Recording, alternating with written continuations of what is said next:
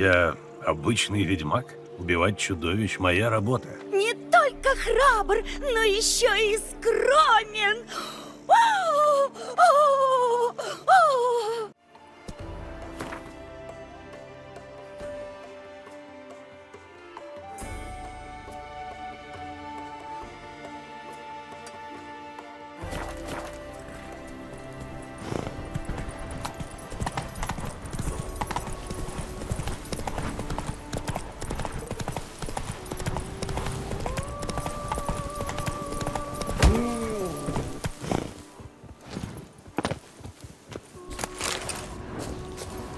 Шевелись, плотва.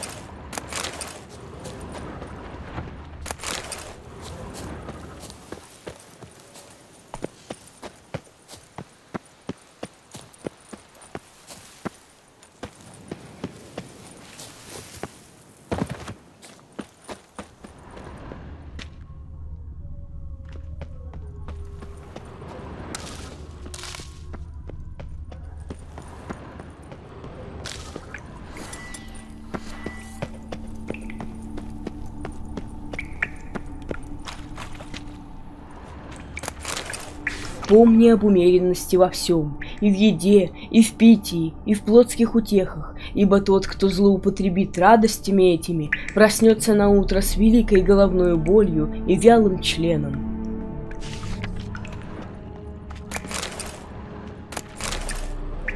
Не делай ближнему того, чего себе не желаешь, если только ближний не причинил тебе чрезвычайного ущерба и если не изобиловали подлостью деяния его.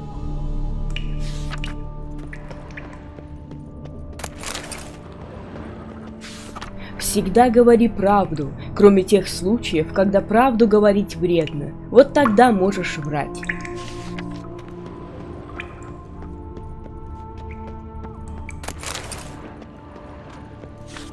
Воистину убогого подаянием поддержи, но вместо того, чтобы дать убогому целый арбуз, дай ему пол арбуза, ибо иначе убогий может свихнуться от счастья.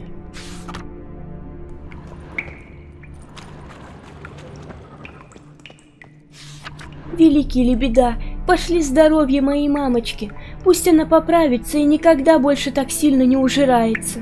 Антуанетта. О, великий лебеда, сделай так, чтобы мои поля приносили обильные плоды, обереги их от засухи и паводков, но только мои, а то моему соседу в последнее время и так слишком везет. Гастон. Пусть я буду красивая, стройная, соблазнительная и вечно молодая, а эта толстожопая шлюха Мария пусть завшивеет вся. Бабетта.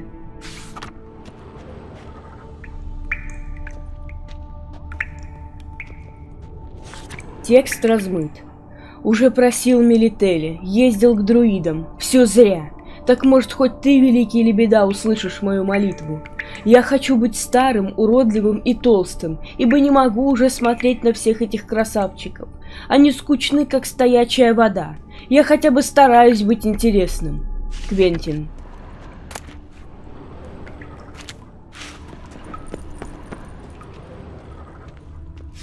Текст размыт. И да поразит гром Жан-Люка, и да пожрет холера его кишки, ибо такого, как он, распутника и сукиного сына, еще поискать надо. Бастиен. Лебеда, благословенно имя твое. Пусть мой сын Юлиан доедет без приключений до Ковера, и пусть уже найдет себе жену, родовитую и зажиточную. Паскаль.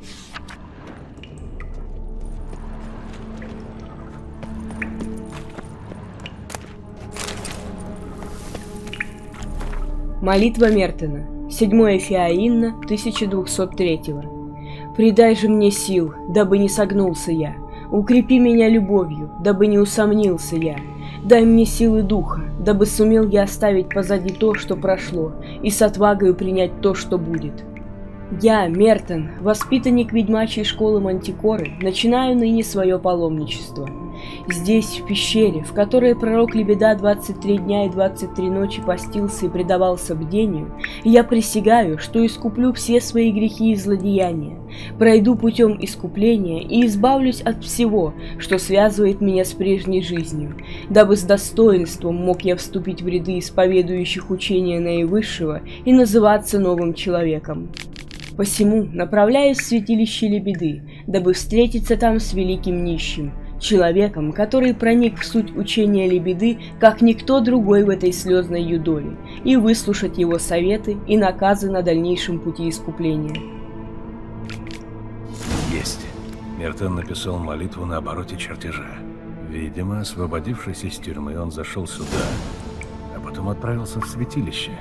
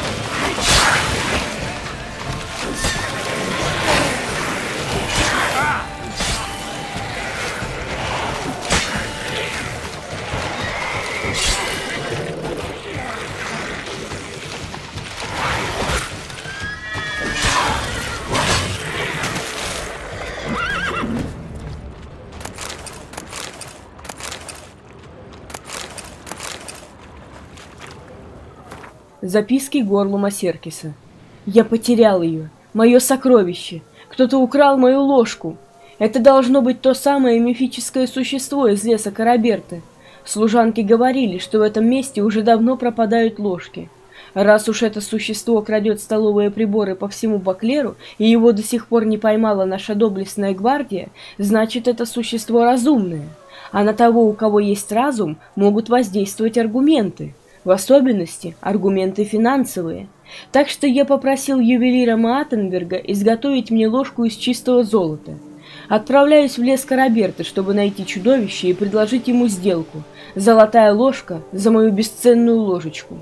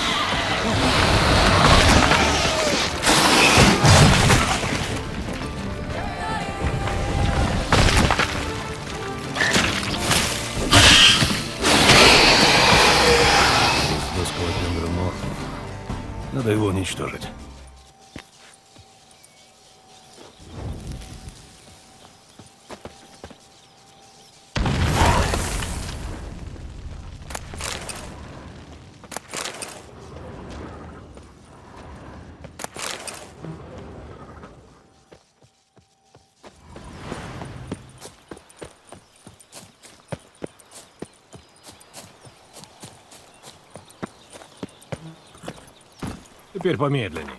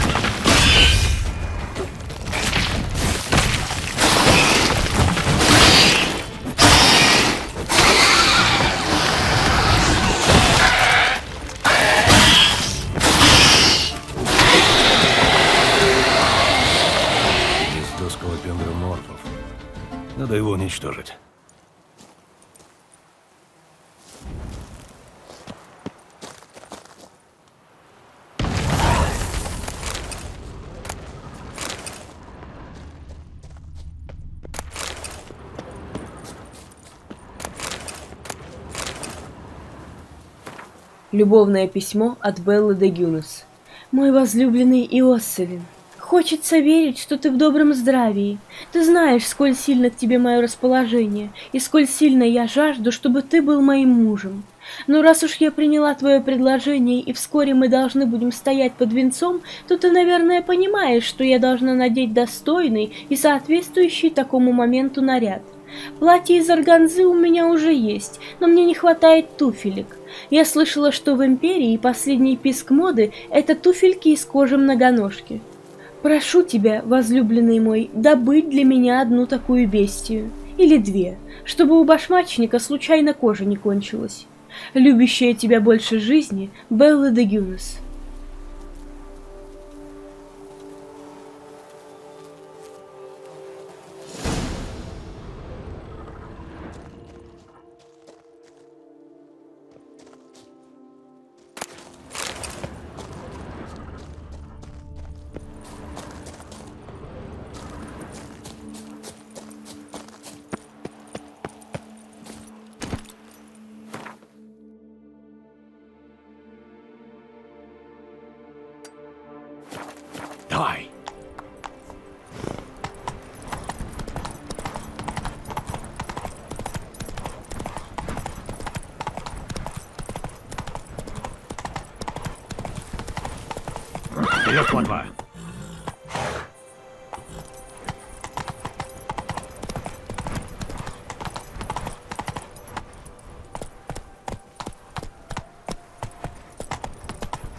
Но!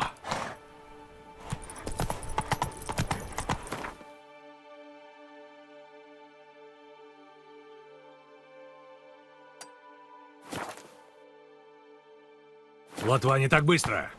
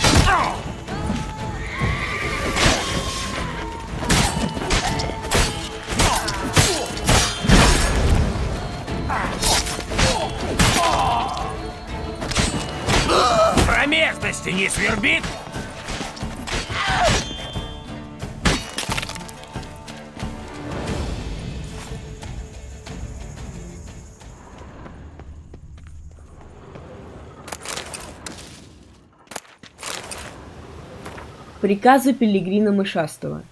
Достаньте этого выпендрежника Квайля. Гребаный задохлик хотел нас прикончить. Караван в этот раз сильно охранялся. Должно быть, подмаслил своих землячков из посольства. Мы, конечно, перебили всех черных, но я потерял нескольких хороших ребят. Раз уж Квайль хотел с нами поиграть, теперь мы порезвимся с Квайлем. Прижгите ему пятки и разузнайте, где он спрятал свою долю от последних налетов. Я точно знаю, что он не все спустил в Гвинт. А потом пускай пляшет черный фанданго.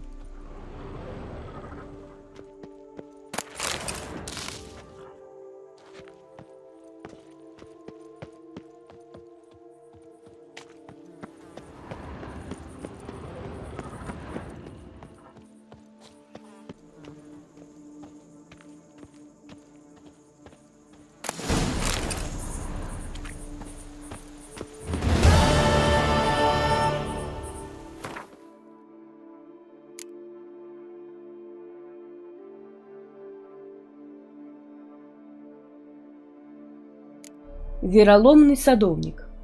Блуждая по лесам Караберты, Геральт случайно наткнулся на разбойничью шайку. Он быстро управился с проходимцами и на остывающем теле одного из них нашел весьма любопытное письмо. Геральт узнал из него о вероломном садовнике Нильфгардского посольства. Тот помогал разбойникам, и сотрудничество это дорого ему обошлось. В записке также упоминалось, что добыча спрятана где-то в посольской бочарне. Геральт быстро нашел спрятанную шкатулку. Довольный собой, он забрал ее содержимое, а затем поспешил навстречу новым приключениям.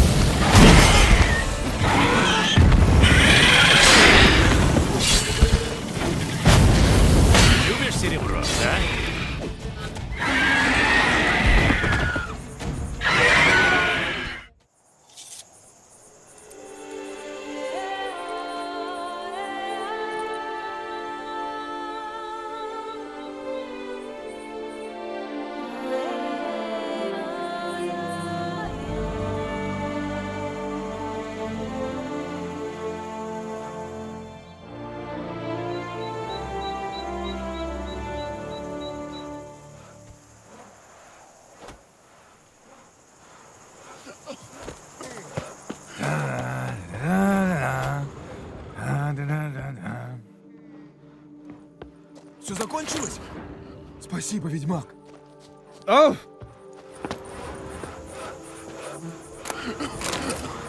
Ведьмак, не ведьмак. Письмо с печатью Кастель. Равелла. Дорогой кузен, из того, что я вычитал в твоем последнем письме, я понял, что сплетни о невнятном состоянии Бельгарда не преувеличены. По моему мнению, тебе не стоит ждать нового собственника. Процедура передачи столь важной винодельни растянется на месяцы, а тем временем само поместье будет ветшать. Ты написал, что вам пришлось уволить всю охрану винодельни. Кто же теперь будет охранять вас от диких зверей? Сам знаешь, сколько их рыщет в лесах Караберты. А ведь они в любую минуту могут напасть. Я беспокоюсь о тебе. Я уже говорил с господином Фабрицио и придерживаюсь мнения, что столь способный эконом, как ты, наверняка найдет у нас работу. Так что перестань разыгрывать удальца и переезжай ко мне. Жду твоего скорейшего прибытия. Твой любящий кузен Эмиль Кастель Равелло.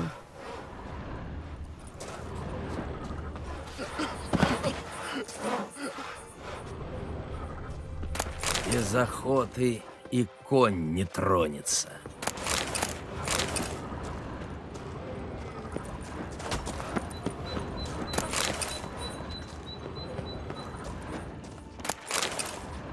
Я ведь вижу, что они мешкают. Только что же я им буду мешать?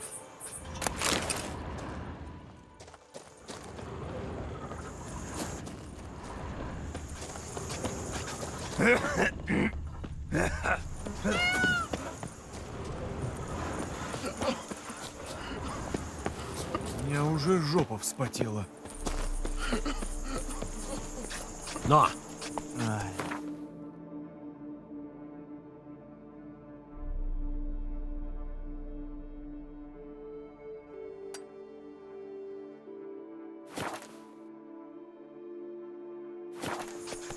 Ай, я вздремнул.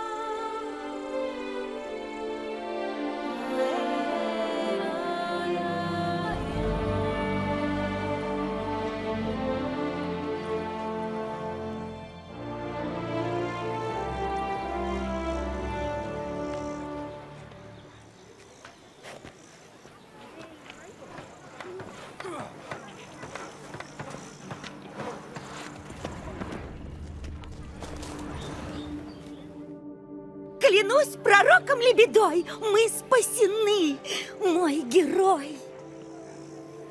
Я обычный ведьмак. Убивать чудовищ — моя работа. Не только храбр, но еще и скромен. О, о, о. Ты управляешься с виноградником одна? О, нет, отец мой винодел, и таких, как он, еще поискать. Я только помогаю. И где он? Он лежит в госпитале. Чудовище его подрали. Но он быстро идет на поправку. У тебя есть что-нибудь на продажу? Лучшие травы во всем Тусенте.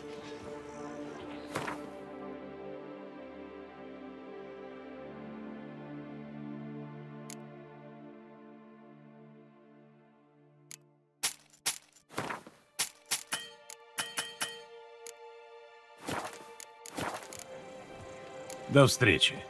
Окажешься поблизости, обязательно заглядывай.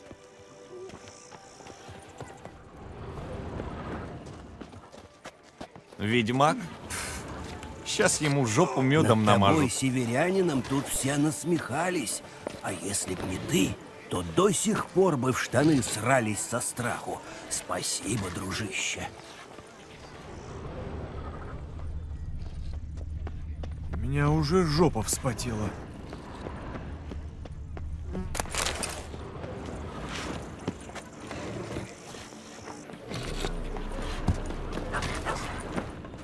Честно? Тут у каждого второго только вино и барышни в голове. Так-то.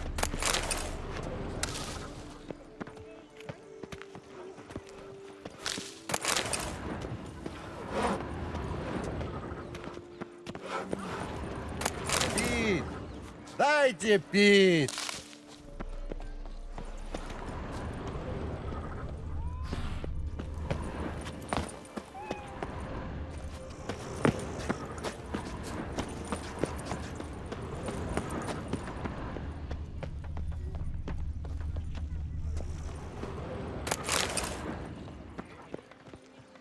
Удачи в дороге!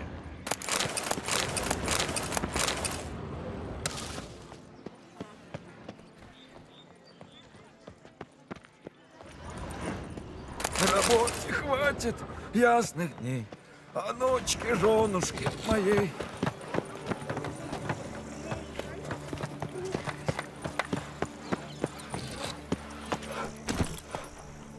Но!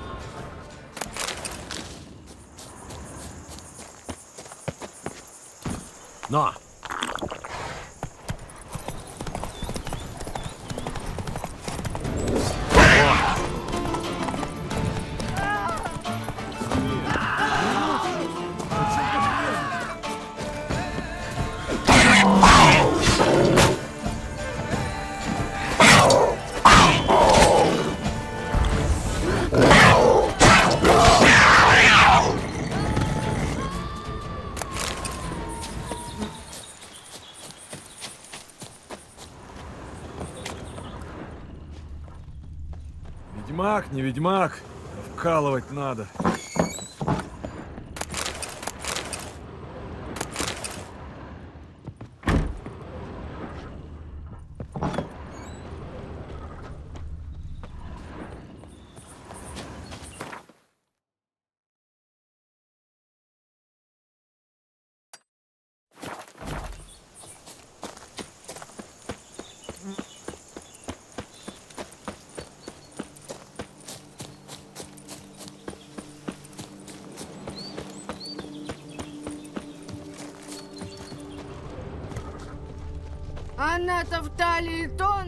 Как иголка, а в жопе хошь хоть волка хавай. От работы кони дохнут.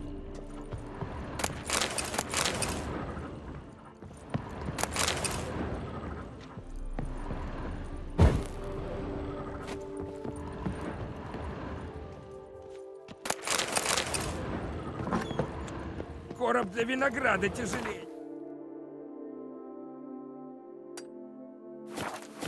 Мечи. Эй, не ходи за мной.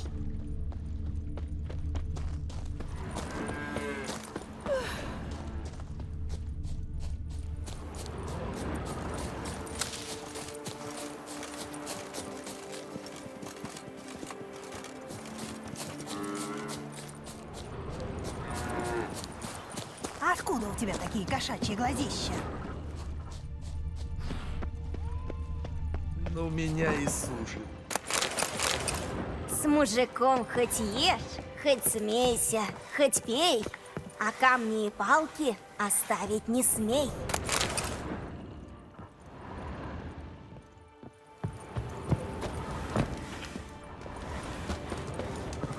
Мужу и псу не показывай жопу всю.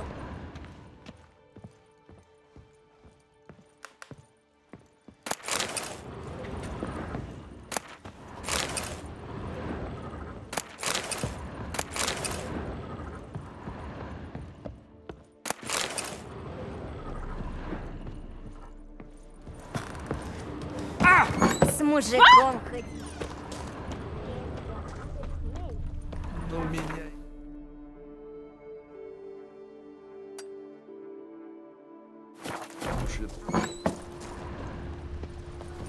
Что это у тебя с головой? Ведьмак этот здесь уже как-то был. Кто А гвардейцев не боится, такой, тот окончит дни ним в темнице. приезжал. В очень близких был отношениях с нашей княгиней. Правда? А мне ж не верится. Я слыхал, что эта молодая графиня Изабелла Мария собирает всяких дев, и они вместе 家。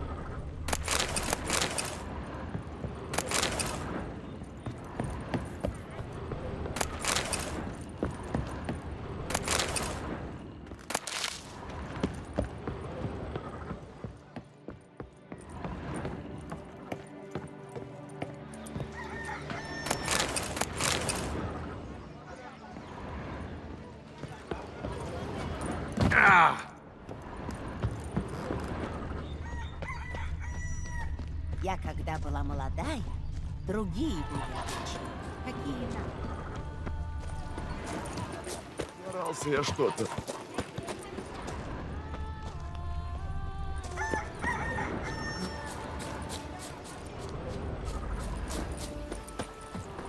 Мне вот идея графа Манье нравится. Глупость. Мастерская бронника. Кому нужна новая масть? Гвинт — древняя игра. И в этом его сила. В традициях. Все старое умирает рано или поздно. А, этот На его место приходит новое.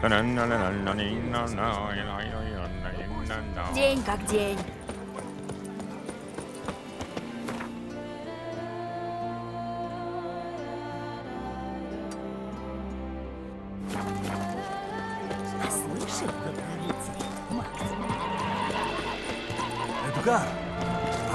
Что где-то в здешних лесах есть альфские руины?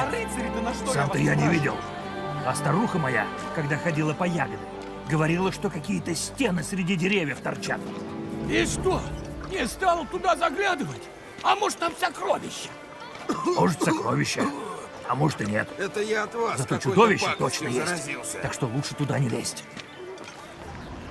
В хозяйстве на озере овец, говорят, стрижет парикмахер, что когда-то при дворе княгини работал.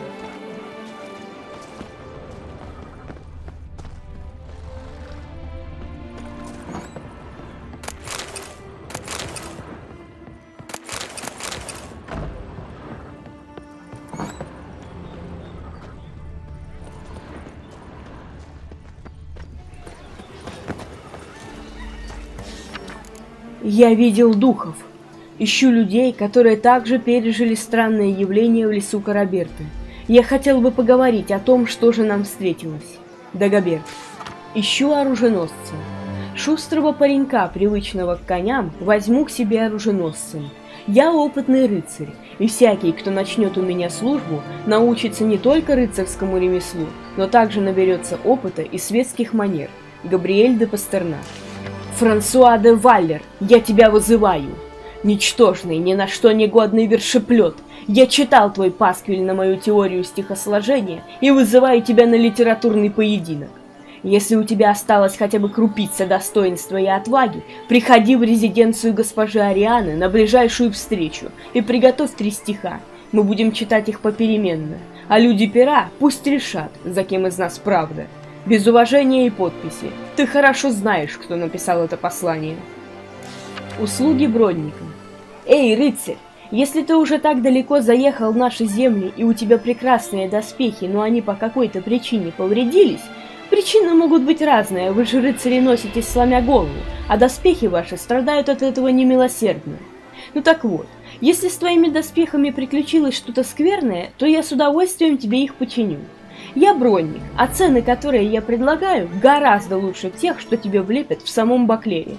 Приглашаю, и ты не пожалеешь. Бронник Люциан. Княжеская гвардия извещает. В связи с проведением рыцарского турнира приезжих просим не провоцировать странствующих рыцарей на поединки. Неподчинившиеся будут сурово наказаны. Заместитель командующего княжеской гвардии Гораций де Фюнес. Ищу игроков в Гвинт. Поскольку граф Манье уничтожает игру в Гвинт, я решил устроить турнир. Он будет не такой представительный, как турнир Манье, потому что у меня нет столько денег, сколько у этого стервеца. Могу только заверить, что в отличие от Манье, мы будем играть в настоящий гвинт, без этого сраного скеллиги. Я Киратиберг.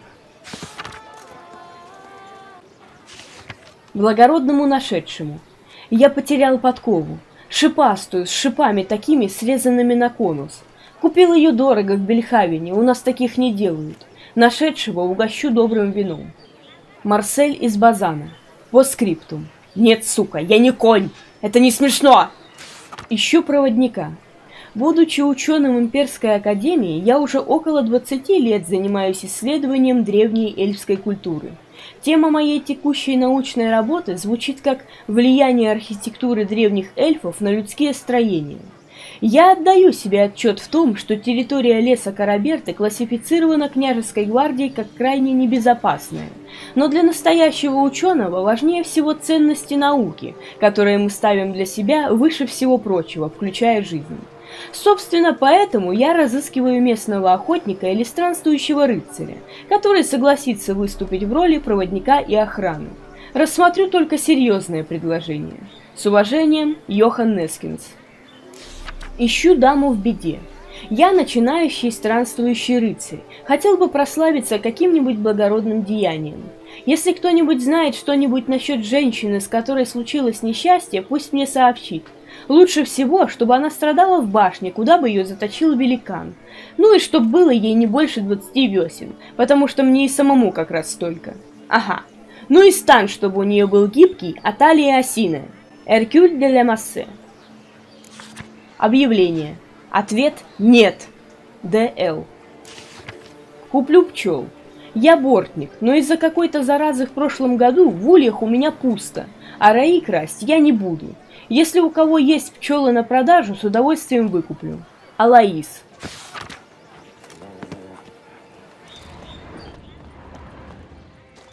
Эдгар, а правда, что где-то в здешних лесах есть райские руины?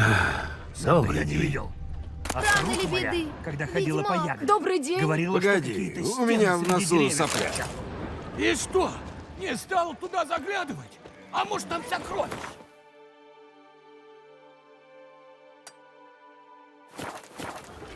Может, сокровища, а может и нет. Тяжко на службе с пустым брюхом.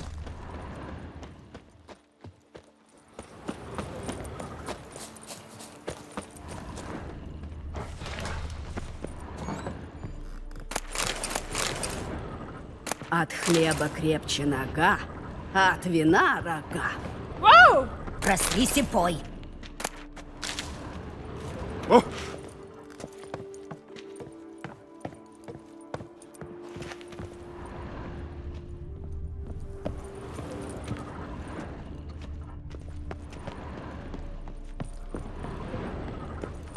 От хлеба креп. Чтоб семья меня... Знала, надо выпить для начала. Ха, берегись, люди! Возьмак едет!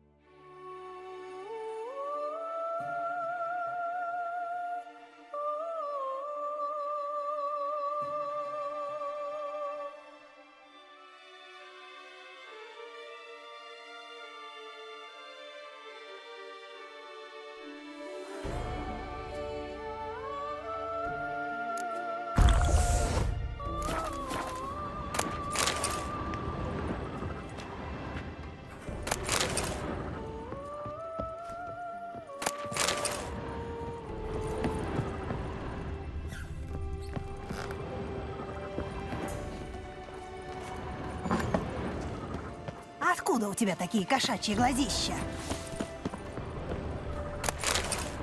Мужик-то может быть и гадкий, да лишь бы бабе было сладко.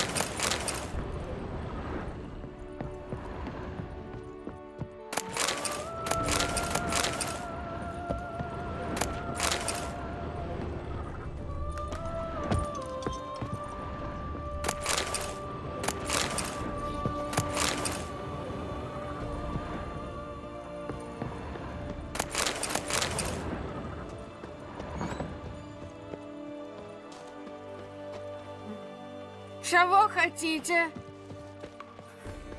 Я себе все руки ножницами покалечила.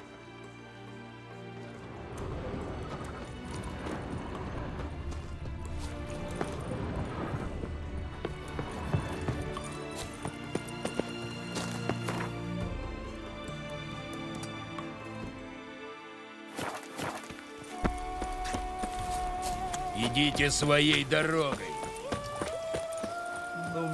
Сушит. Всё, у меня сегодня язык Должно быть валится. лихорадка. А, и зачем мне было это вино проверять перед разливом?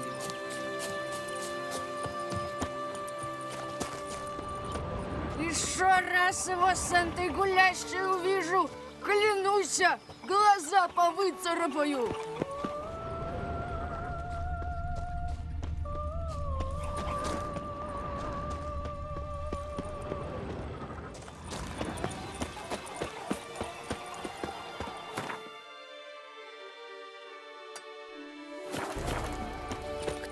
Грязь отмывает, тот счастье теряет.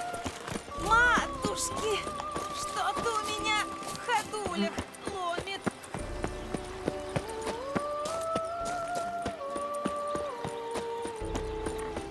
Раз, два, три, ты води.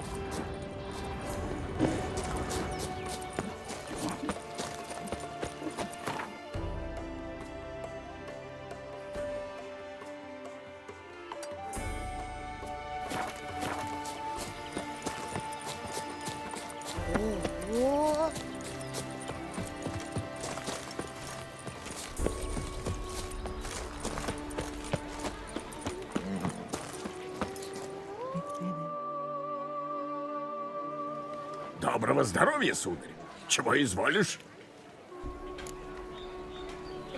Покажи свои товары.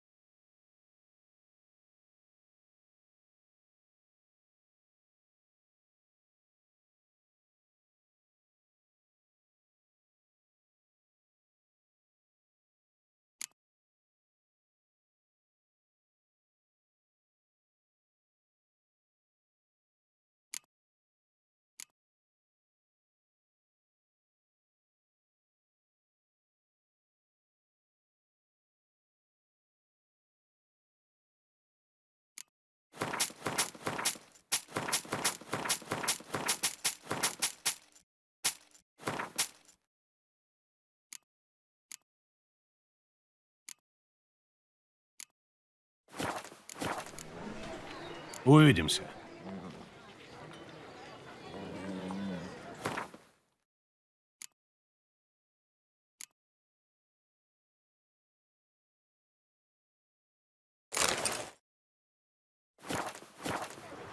Этого даже на парикмахера не... Хочешь? Покажи.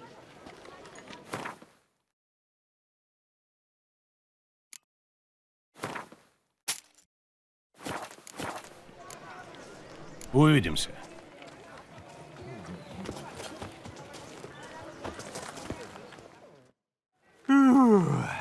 А? В чем дело? Покажи, чем торгуешь.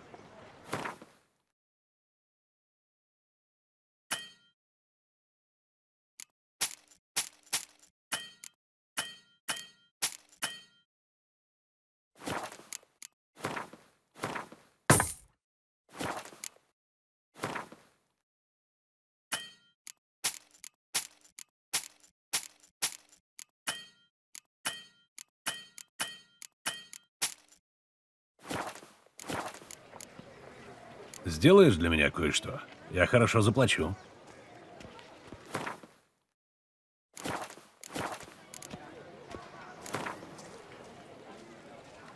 Ты это, в гвинт сыграть не хочешь?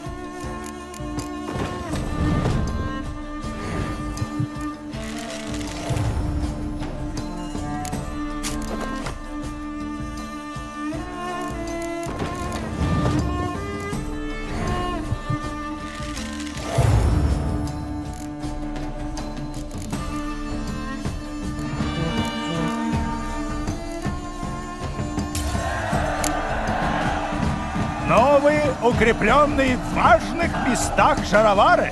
Последний писк моды.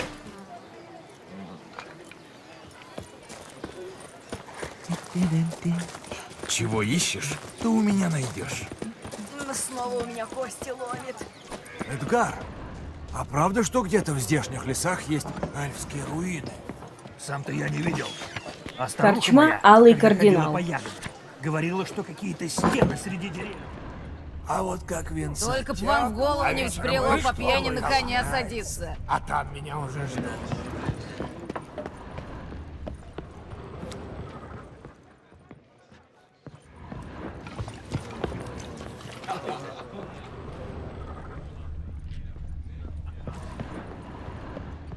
А вот как Винсанти.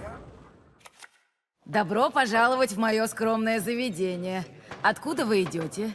А, я уже так долго в пути, что и не знаю, что ответить. Скажем, просто с севера. А, правда люди говорят, будто после войны там развалины одни остались. Преувеличивают, но не сильно. Простите, что спрашиваю. У меня родня в Эйдирне. Вот мне и интересно. Ну ладно, скажите, что я могу для вас сделать? Ты говоришь, у тебя родня в Эдирне? А где? Можно узнать? В Венгерберге. Может, бывали там? Да, и не раз. Это родной город одной моей... эм, подруги, скажем так. М, хороший и красивый город. И, насколько я знаю, он не слишком пострадал при вторжении. Ох, рада слышать. У меня прям на сердце полегчало. Покажи, что продаешь.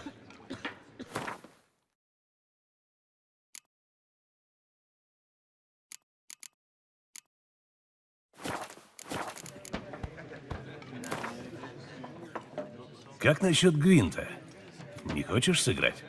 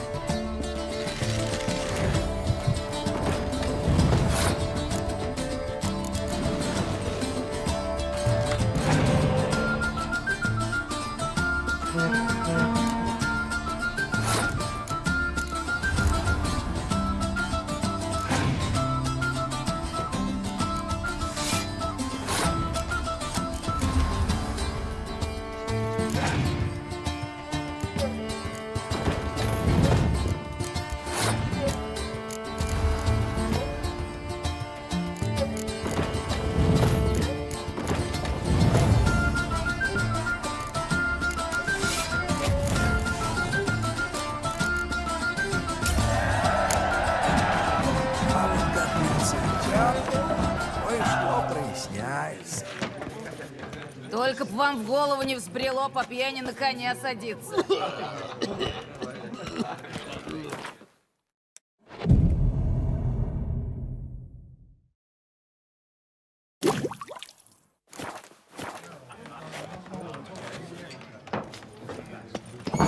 Эдгар, а правда, что где-то в здешних лесах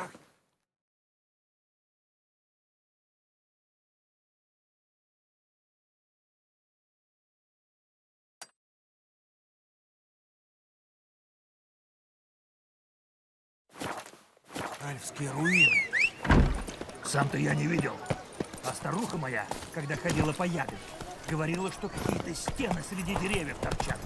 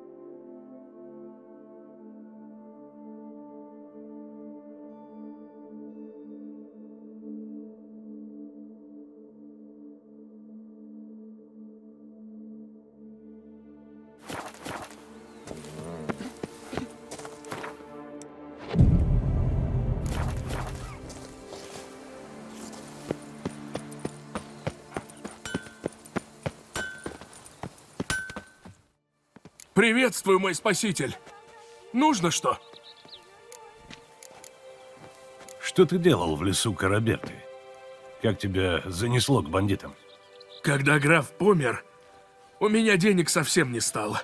Ни на обручи для бочек, ни на инструмент. Вот я и собрал ребят, чтобы в лесу чего-нибудь раздобыть. В эльфских развалинах много можно найти, если руки марать не боишься. Говорят, там призраков видели. Да только я эльфских духов не боюсь. Очень разумно. Разумно или нет, только ни одного призрака мы не увидели. А вот на Ганзу, да, наткнулись. Тут уж никакой разум мне бы не помог. Только удача, что вы поблизости случились и меня вытащили. Покажи, что у тебя есть.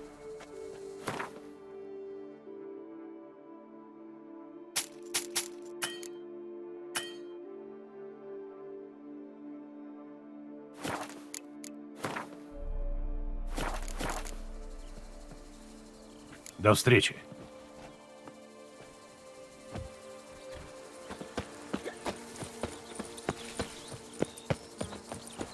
По тусенту бестия мчится, Хер за нею волочится.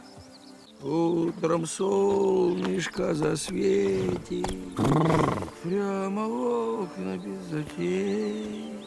Я обойду супруга ей мило, Настрогать себе детей.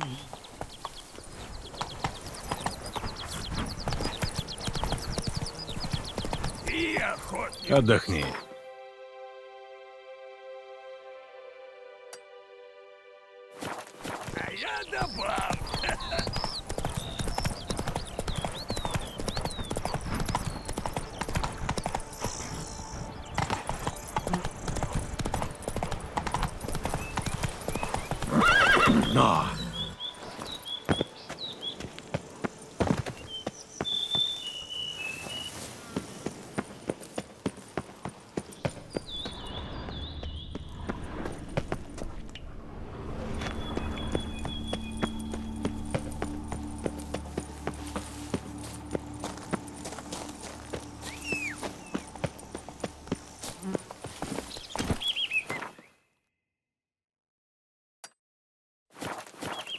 Шевелись, плотва.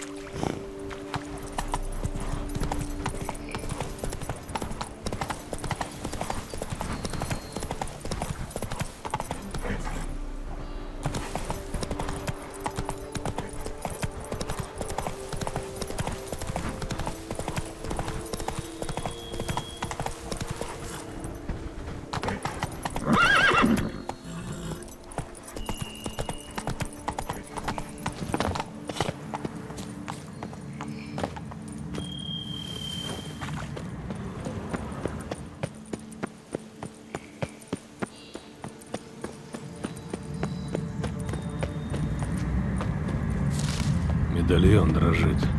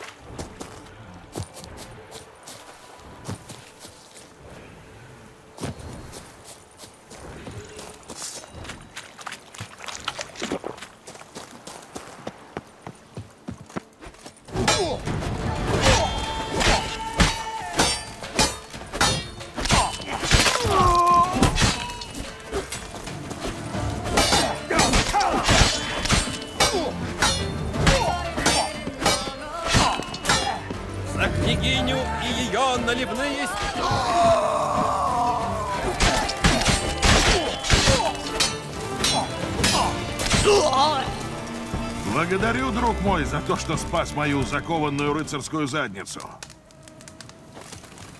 Достойно есть и справедливо, ведьмак, что на призыв досточтимой княгини ты прибыл. Приказы на грязном пергаменте. Ребятки, какой-то странствующий рыцарь крутится тут на нашей земле. Мало того, что Квайль натравил на нас своих землячков-нельфгарцев, так еще теперь этот идиот тут крутится. Только без излишних церемоний. Никаких изнасилований, на кол никого не сажать, глаза не выкалывать. Оторвать башку и валить по-тихому. Пилигрим мышастый.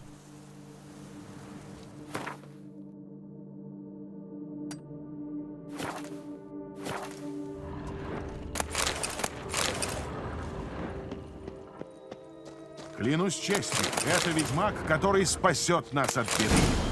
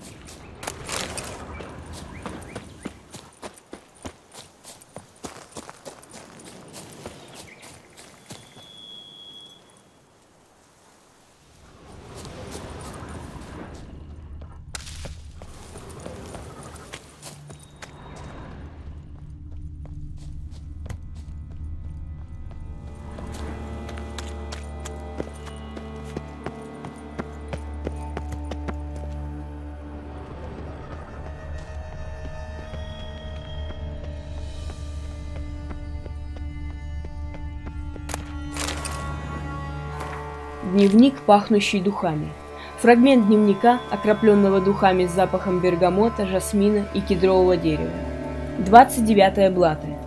Наконец-то я нашла выход. К экзамену в Имперскую драматическую академию я приготовлю знаменитую роль Эльзы Даланпре. Ее последний выход. Выход, во время которого она скончалась на сцене. Самая совершенная работа актера, которую когда-либо видела сцена. Это должно обеспечить мне продвижение. Первая Фиаина. Эта роль слишком трудна. Мой учитель по-прежнему недоволен. Может, все-таки мне не хватает таланта? Трудно мериться силами с легендарной Эльзой. Пятая Фиаина. Да, я уже знаю, чего мне не хватает. Я должна почувствовать эту роль и сыграть весь акт в амфитеатре при свечах и с вином, как когда-то Эльза. Аура этого места может мне помочь. Говорят, Эльза провела в нем всю свою жизнь.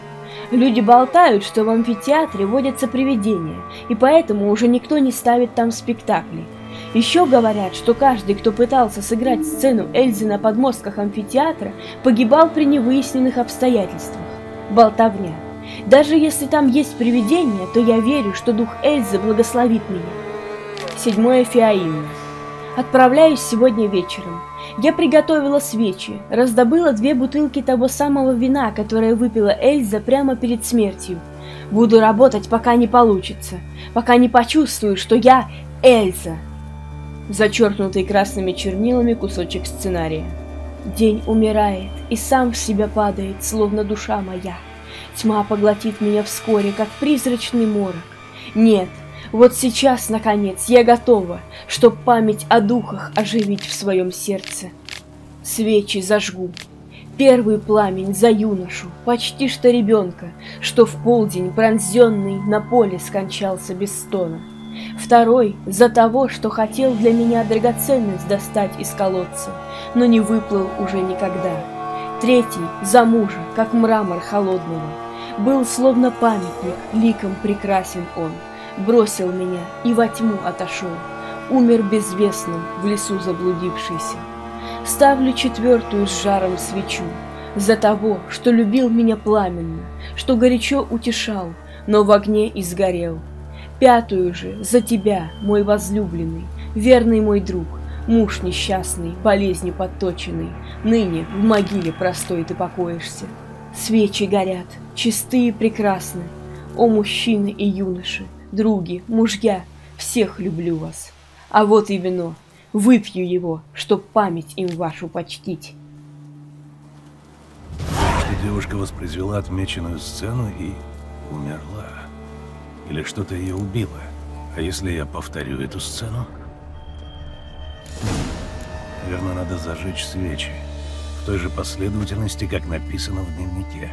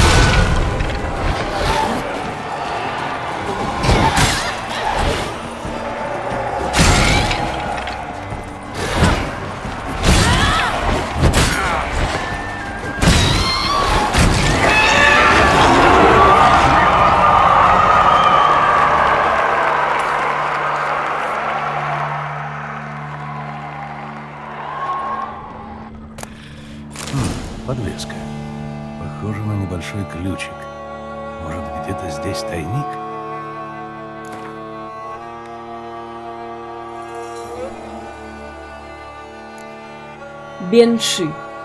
Бенши воют и рычат. И если вы слышите их вой, то будьте уверены, сегодня же вы отправитесь в мир иной. Попрошайка из Дундара. Древние сплетни утверждают, что Бенши – это духи женщин, застрявших между жизнью и смертью из-за тяжелых переживаний. Их стон и вой считается верным признаком скорой и неминуемой смерти, хотя говорят, они на живых не нападают. Чаще всего они являются в виде бледных женщин в лохмотьях, с иссушенными лицами и сморщенными мертвыми телами.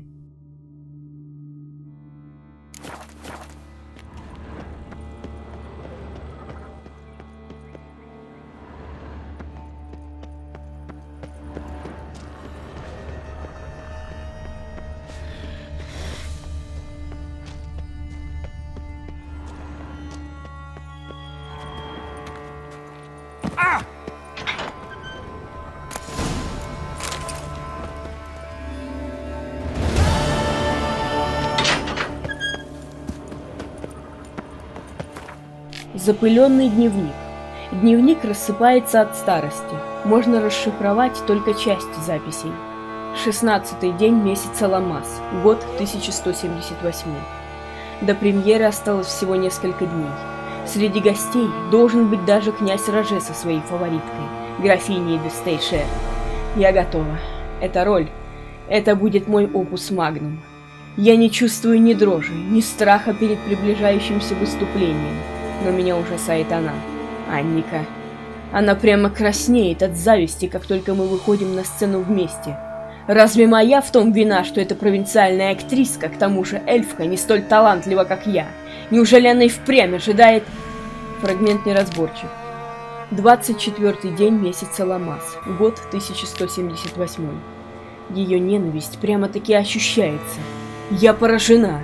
Я говорила об этом с режиссером, но думаю, он не принял меня всерьез. Он слишком поглощен приближающейся премьерой. 29 день месяца Ламас, год 1178. Анника рылась в моих вещах. Она читала этот дневник.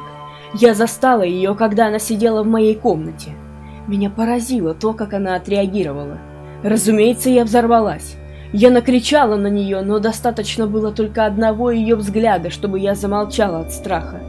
Соберу все свои самые ценные вещи и спрячу их в амфитеатре. Отныне ключ от сундучка я всегда буду держать при себе. Ожерелье, которое сделал для меня ювелир, часть листка рассыпалась. 33 день месяца Ламас, год 1178. Все хуже и хуже. Боюсь, что она хочет меня убить. Стилет в спину. А может быть, яд в вино? Но как же это театрально. Клянусь богами, если это никчемное существо попытается причинить мне вред, я превращу этот амфитеатр в преддверие ада.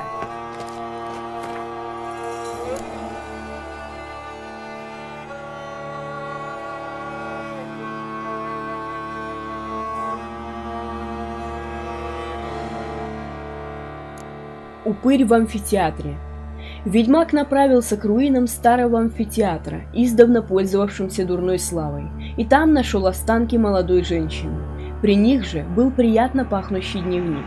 Из него Геральт узнал, что амбициозная девушка пожелала воспроизвести последнюю сцену, сыгранную Примадонной этого театра. И что-то пошло не так. Геральт, который уже пробовал себя в актерском ремесле, решил сыграть ту же самую сцену. Геральт сыграл свою роль согласно либретто и со всей душой.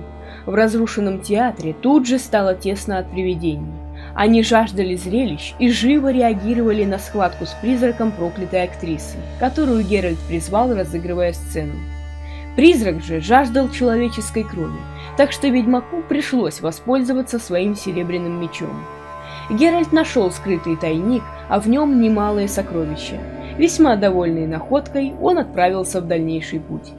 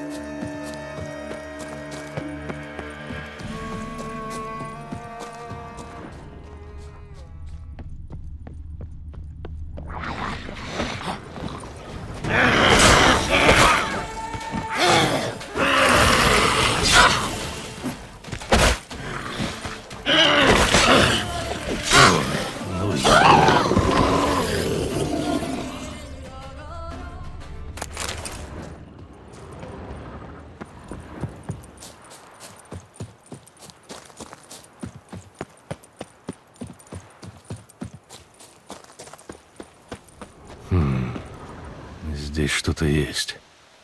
Где там артефакт Кейры?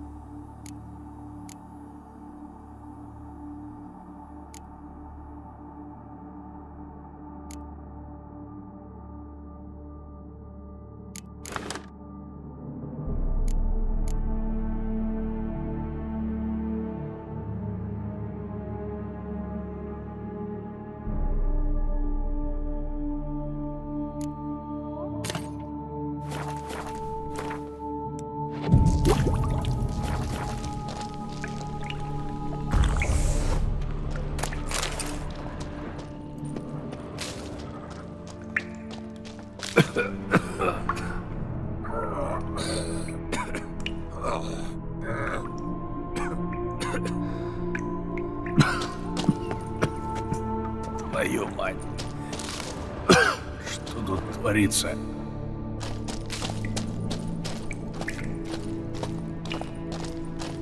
Ты напомнишь меня? Голые женщины в пещере. Что-то здесь не так.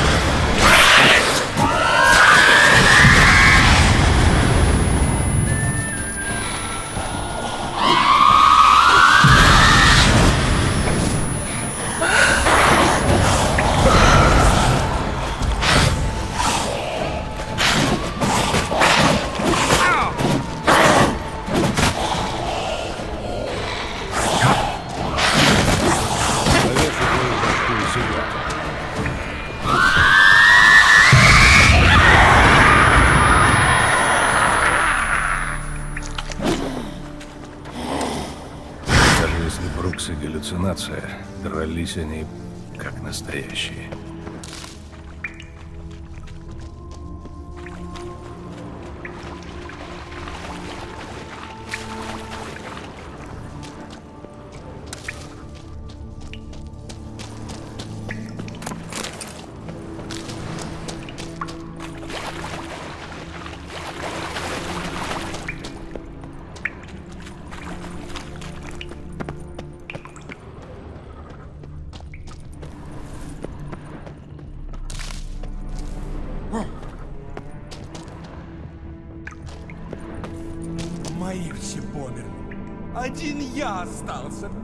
гроша за душой.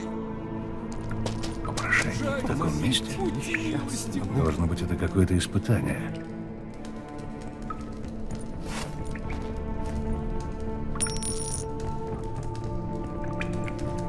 Не отводите взгляда. Помогите!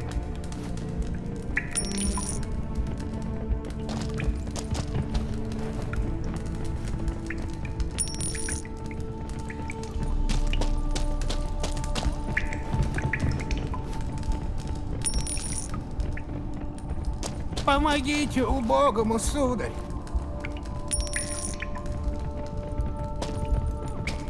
Этот последний. Интересно, что теперь?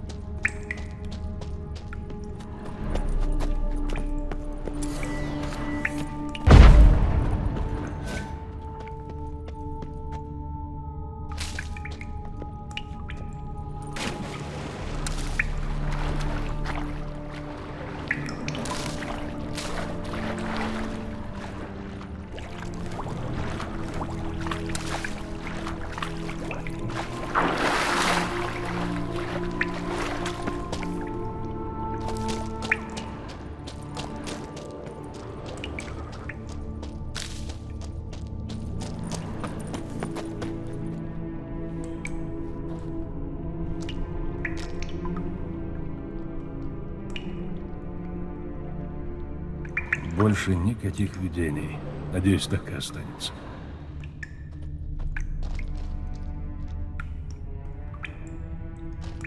Хм. М, Может, это какая-то реликвия? Записки Мертена.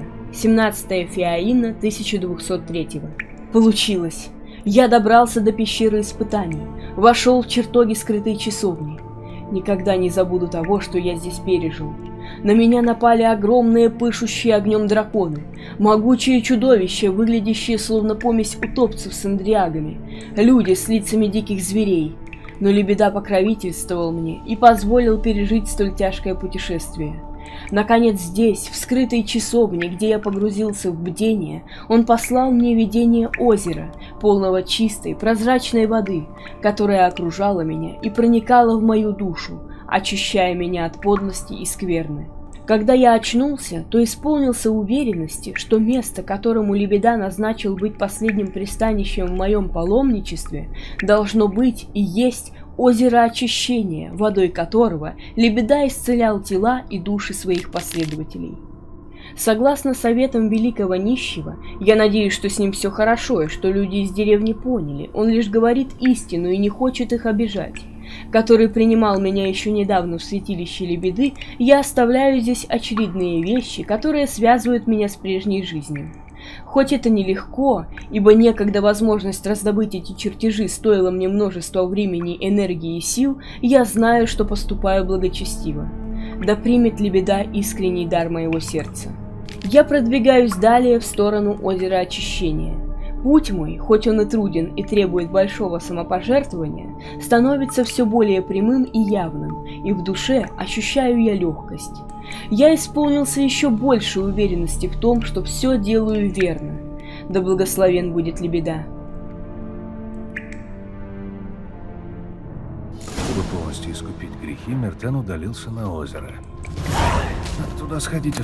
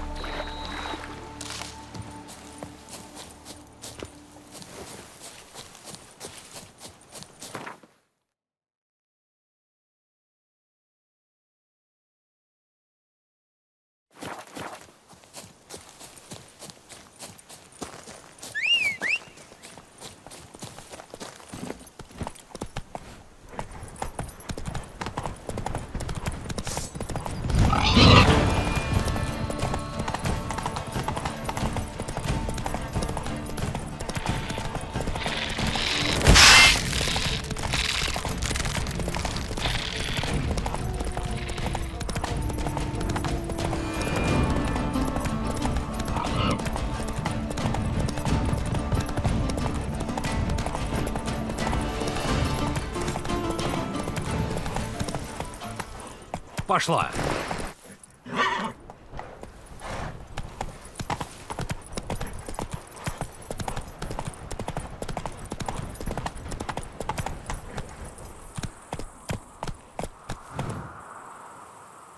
Вперед, плотва!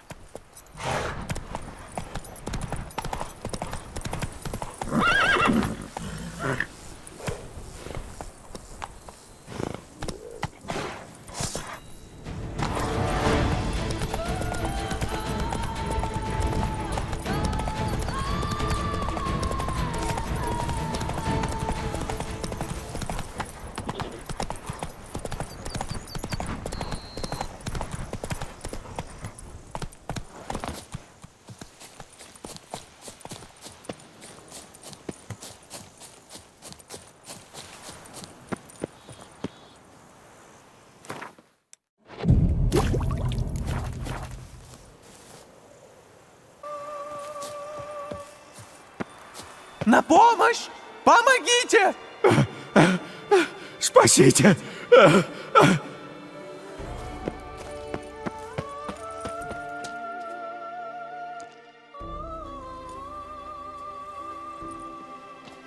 Что происходит? Чудовище! Чудовище в пещере! Мы убежали, а Гюго остался внутри. Дюго? Наш брат, он остался там! Помоги нам, найди его! Мы тебя наградим!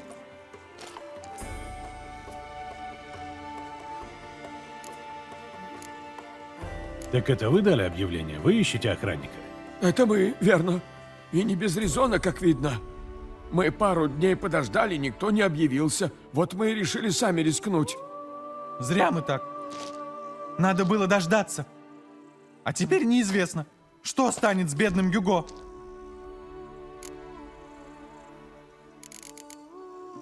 А вы видели, что на вас напало? Куда там? Как только земля начала шевелиться, мы сразу к выходу помчались, а Гюго в другую сторону. Значит, чудовища полезли из земли. Ну, должно быть так. А в общем, я не знаю. Мы ведь не присматривались. Мы ж бежали. Нахрена вы туда полезли? Мы заблудились. Да ну, в пещере заблудились. Пророк Лебеда! Ну не все ли тебе равно? Может, мы туда за шампиньонами пошли? Или просто побродить? Дюго остался внутри! Его там сожрут сейчас, вот что важно! Ты спасешь его или нет? Каждая секунда на счету! Ладно, я поищу его. А вы двое ждите тут.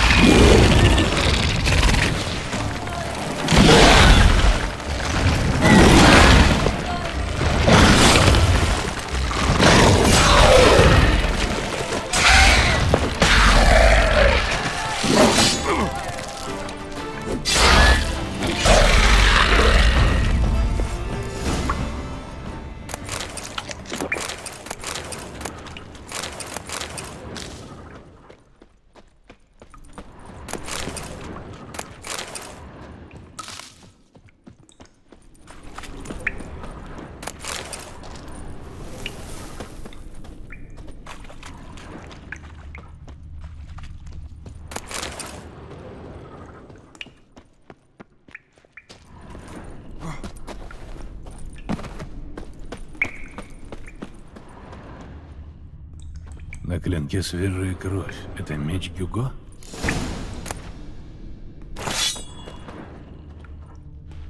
Следы крови. Гюго может быть ранен.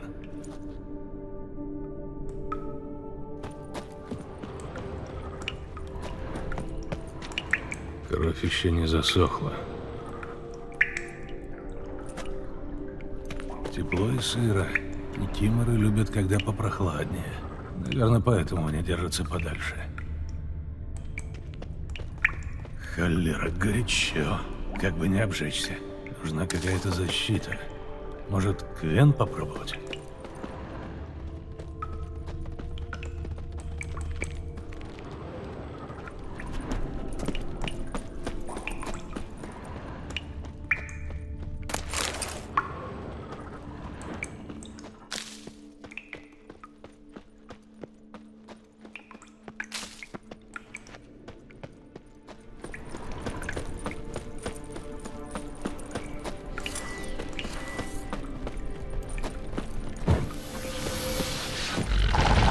Что ж, как угодно.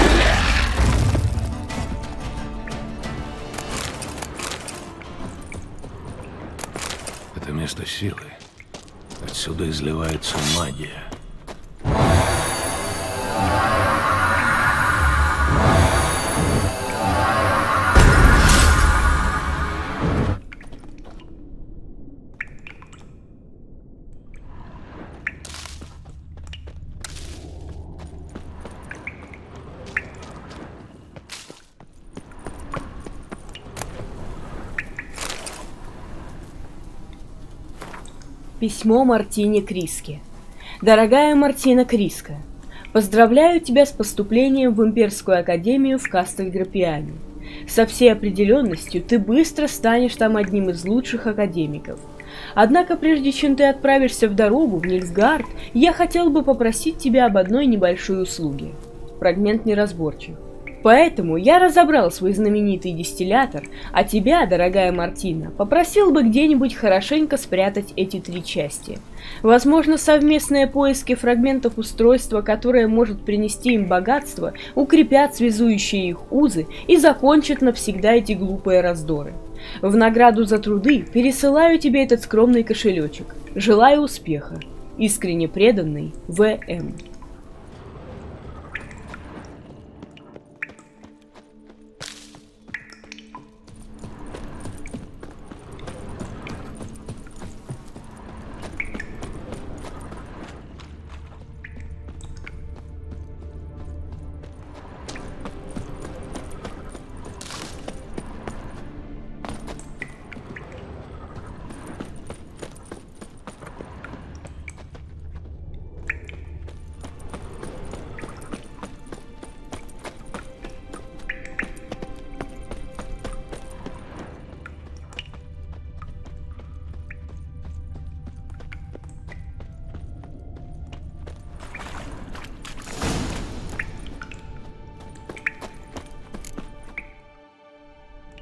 Ты Гюго?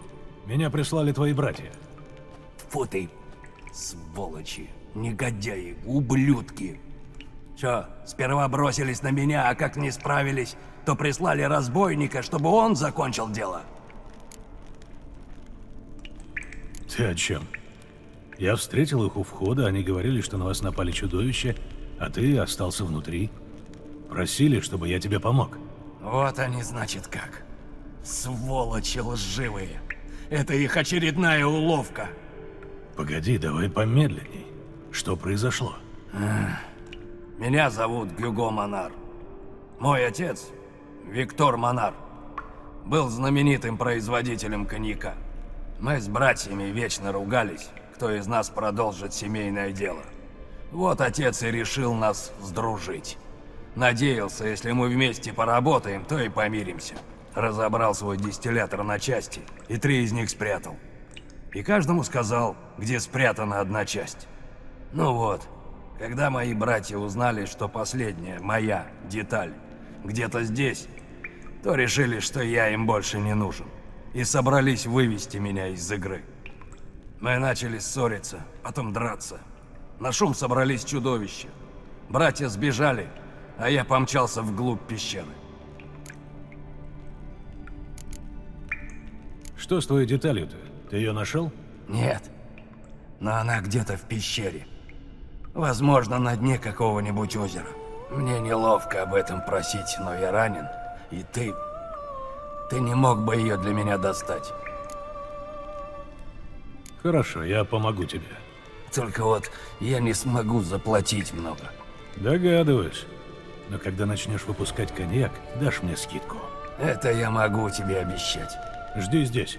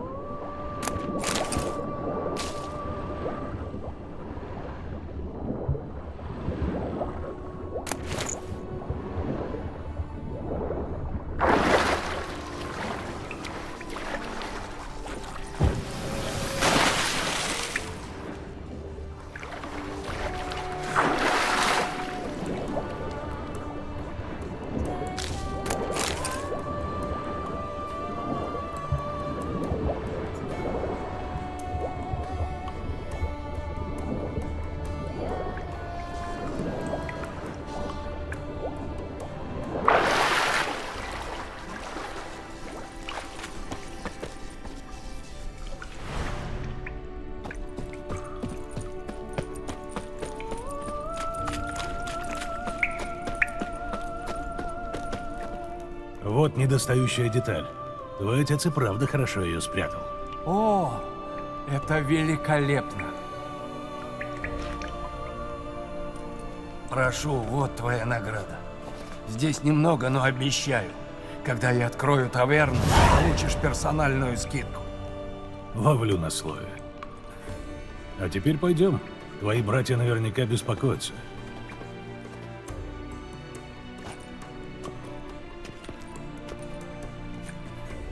Погоди, видишь?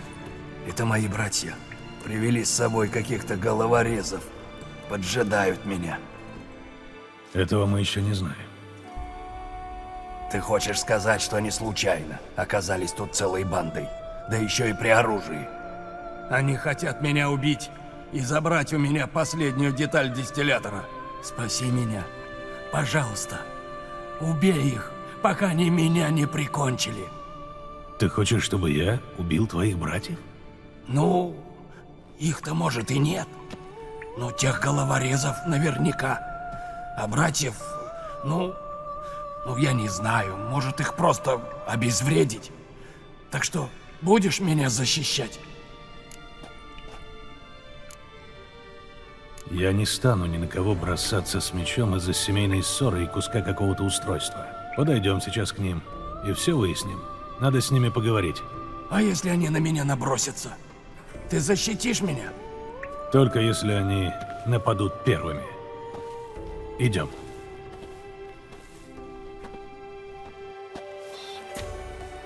Гюго, с тобой все в порядке? Мы беспокоились. Ну-ну, что-то я вам не верю. Послушай, когда ты остался там, до нас дошло, что все эти ссоры не имеют смысла. Если б с тобой что-то случилось, мы бы себе этого не простили. Люсьен прав. Надо закопать топор войны и работать вместе, как хотел отец. Если у вас добрые намерения, то кто все эти люди? Это охотники. У них лагерь неподалеку. Они подошли спросить, не нужна ли нам помощь. Вы долго не возвращались, и раз нас стало больше, мы собрались вас спасать. Я рад, что вы договорились, но я бы хотел вернуться к своим делам. Разумеется. Вот твоя награда.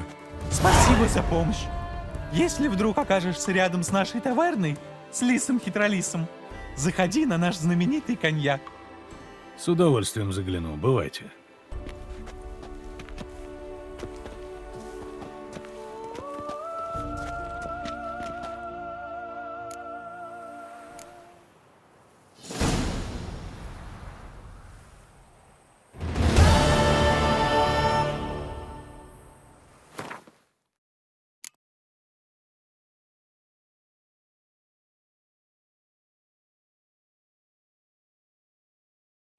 Братская любовь.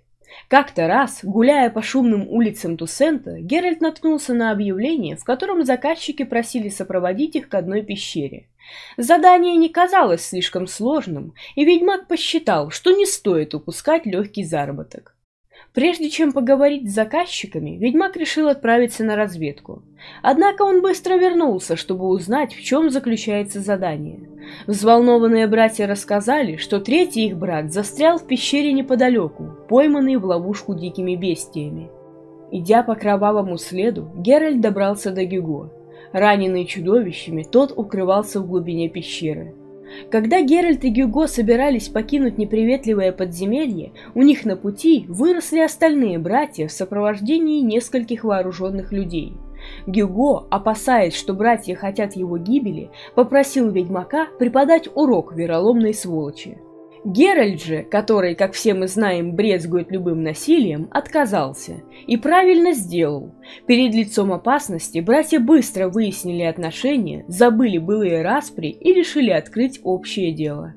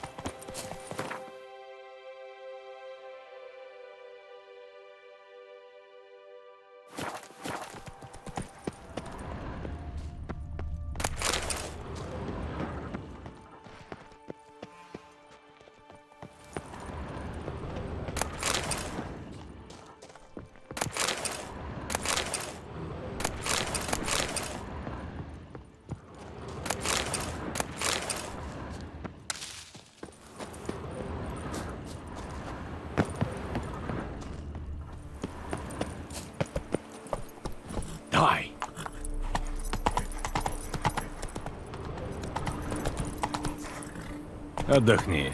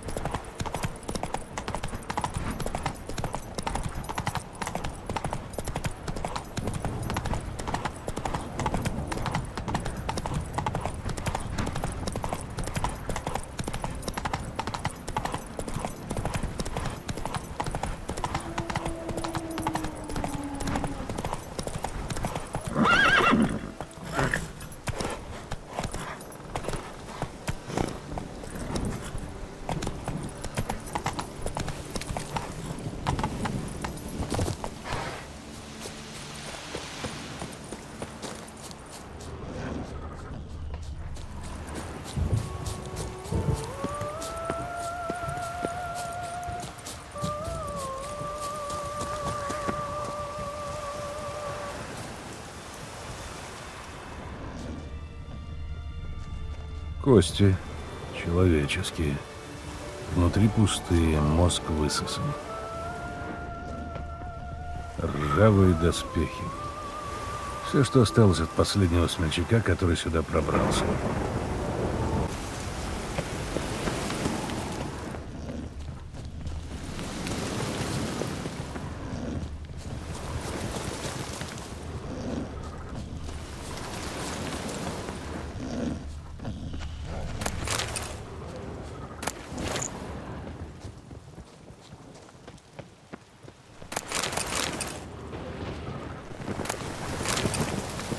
Письмо Франсуа от Жакетты. Дрожайший Франсуа, уже неделя прошла с тех пор, как я последний раз тебя видела, возлюбленный мой. Знаю, что ты занят важными рыцарскими делами. Но скажи мне, дрожайший мой, как же можешь ты выдерживать эти страшные муки, вызванные разлукой?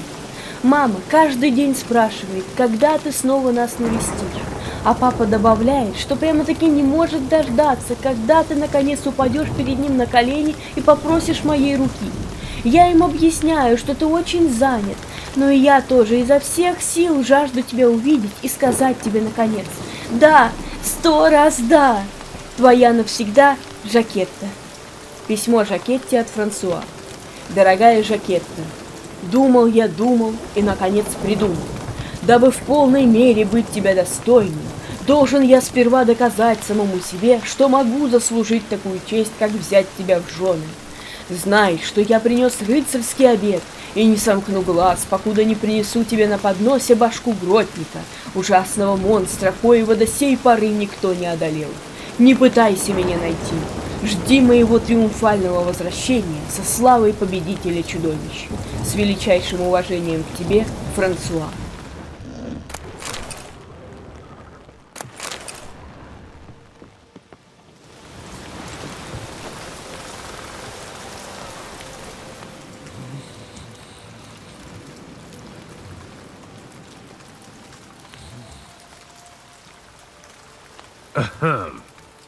Что?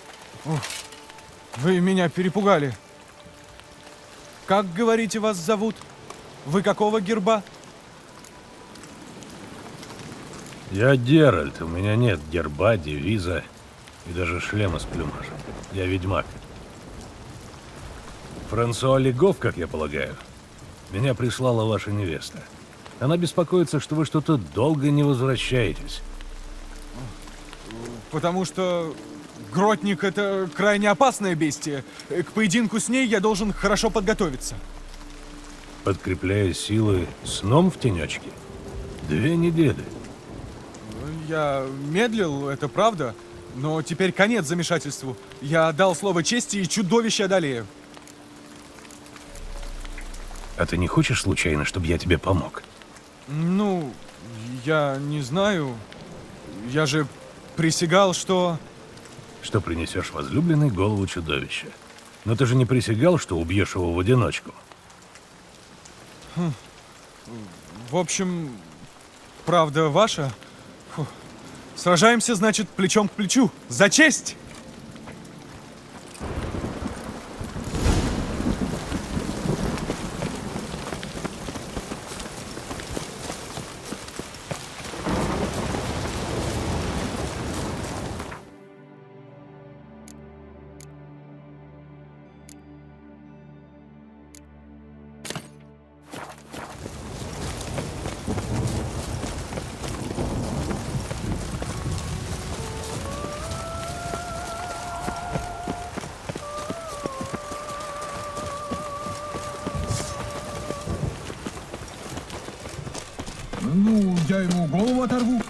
Сначала мы все-таки должны его убить. М, Странно. Что-то не вижу я этого гротника. Так, может, вернемся? Нет его, значит нет. Что делать? Мы же старались. Не спеши. Осмотримся здесь еще немного. Пророщены, как в теплице.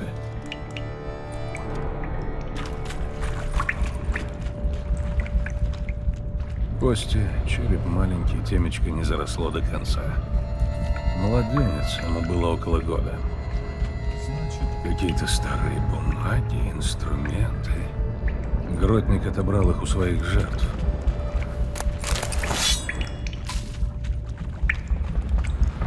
Колыбелька. До краев наполненная детскими башмачками.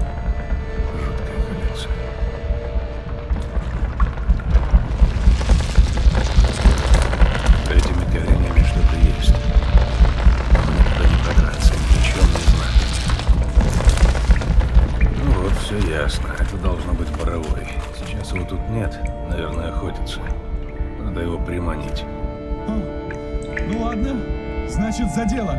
И пусть свершится воля небес.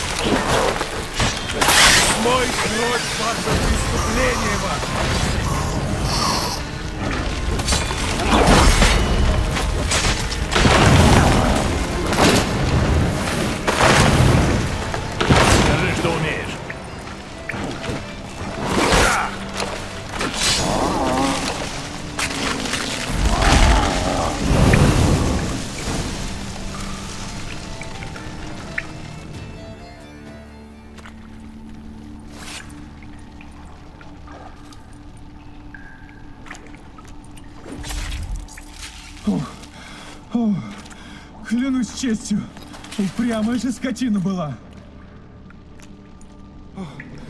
Я благодарю, ведьмак. Вы весьма мне помогли.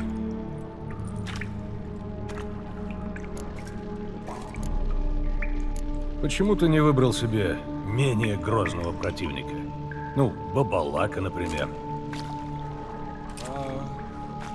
Ибо э, сила монстра равна должна быть э, силе любви и... Ты краснеешь, рыцарь. А, видите ли, это все моя невеста. А она вот сразу хочет под венец А ведь мы всего два года знакомы. Так я подумал, что если присягну добыть Гротника, то добуду себе немного времени. Такое чудовище убить это ведь не что-нибудь. Да, теперь я понимаю, почему ты так медленно рвался в бой. Кажется, самое время тебе вернуться в Баклер, храбрый рыцарь. О, нет! Ибо башка этого чудовища слишком мала, чтобы выразить, как сильно я люблю свою избранницу. Я отправлюсь странствовать по свету. а, э, Какое-нибудь другое чудовище в ее честь зарублю. По-хорошему советую, забирай эту башку и заканчивай с этими глупостями.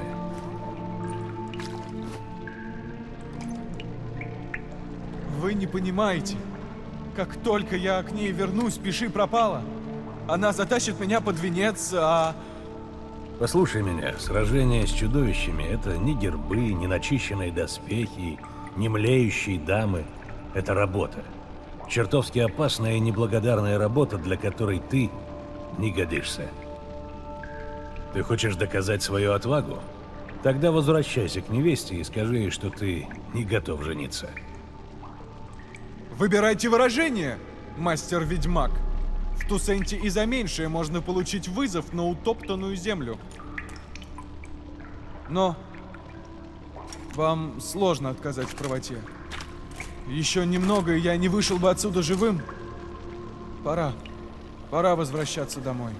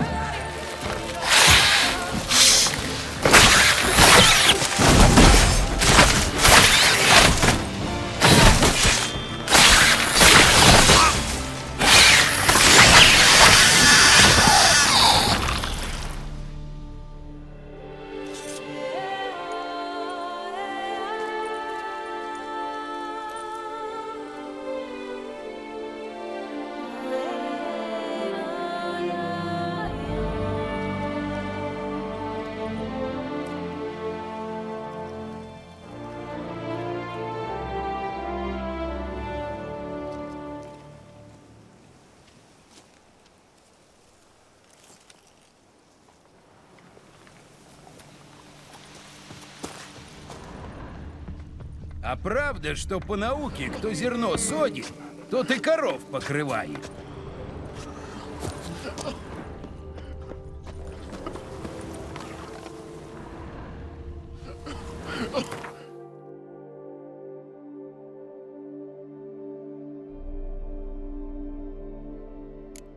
Гротник. Гротник оказался непростым врагом. Он владел телепортацией и мог неожиданно оказаться прямо перед Геральтом и броситься на него, нанося мощные удары, которые невозможно парировать. Он использовал первобытную магию для подчинения корней деревьев, которые по команде выстреливали из-под земли и наносили немалый урон всему на своем пути. Он был устойчив к знаку Арт, но уязвим к огню. Удары серебряным мечом ранили его, невзирая на твердую шкуру, покрывавшую его, как панцирь из коры.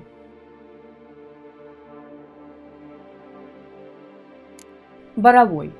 Я собирала ягоды, как обычно, в эту пору, а тут дерево затряслось, и я увидела это! Отрывок из истории, которую рассказала женщина, вернувшись из леса. Боровые – это подвид леших.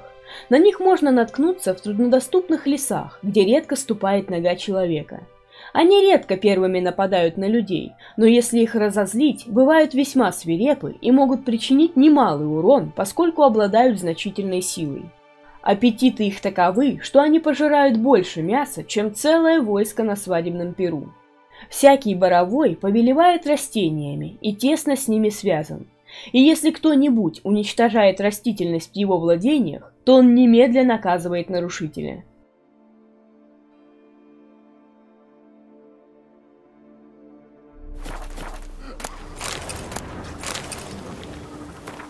Письмо к возлюбленной. Моя любимая Мелани.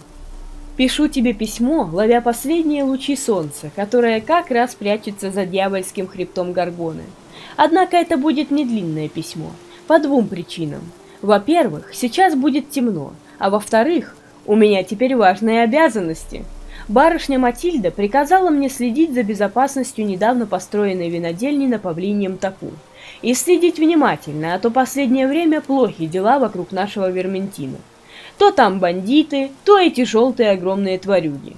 Я тут застряну ненадолго. Буду сохнуть от тоски по тебе, моя милая, словно виноградная лоза без прикосновения живительного света. Навсегда твой, Лоран.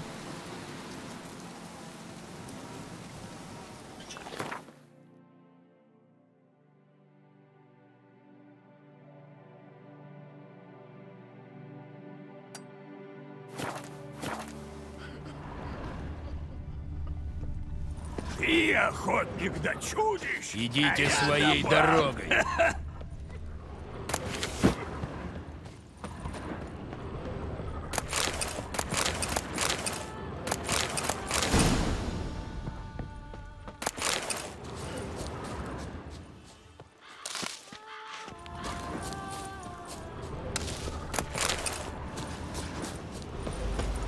Так это ты, значит? Тот Я самый за ваше здоровье турнира? целую бутыль выпил. Крепкого вам здоровья, ведьмак. Удачи в дороге. Шевелись, плотва.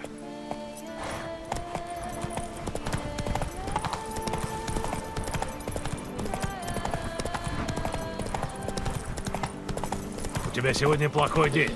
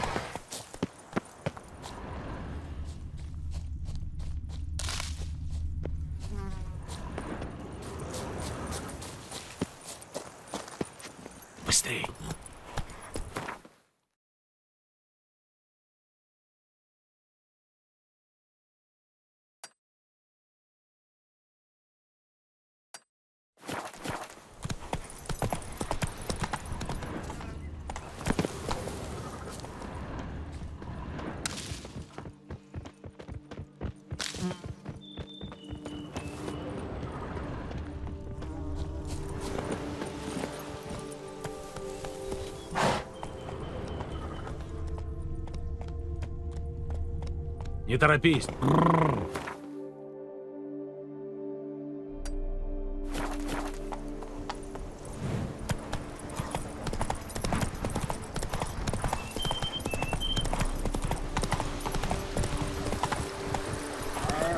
Давай, плотва.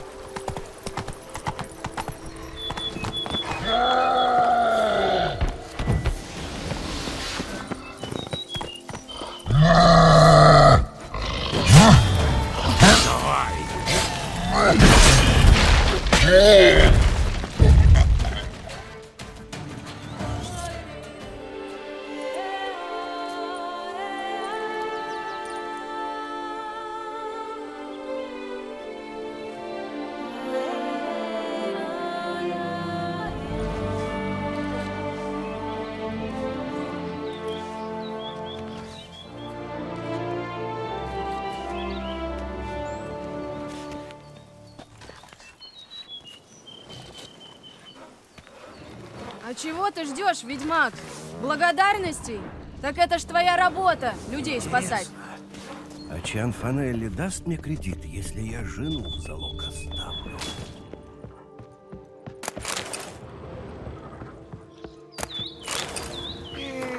Неотправленное письмо.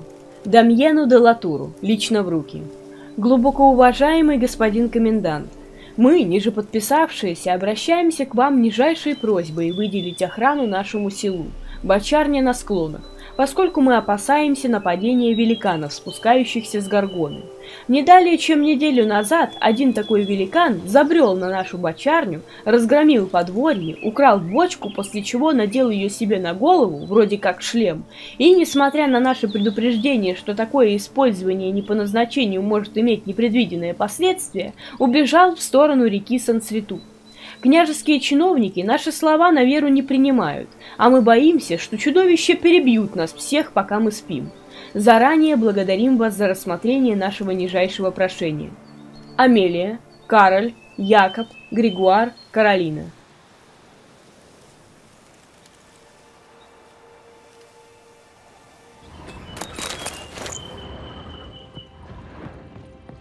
И что нам от этой работы? Горд на старости лет.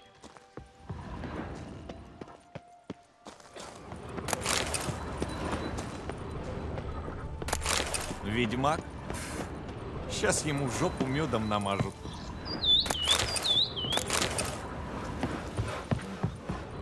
Делайте то, зачем вас послали, и возвращайтесь к себе.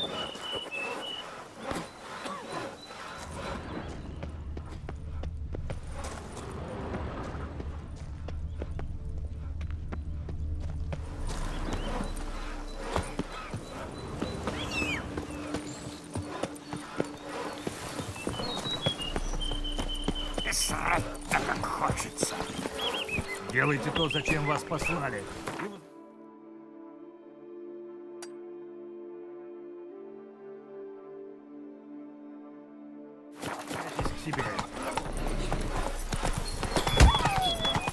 Теперь помедленнее.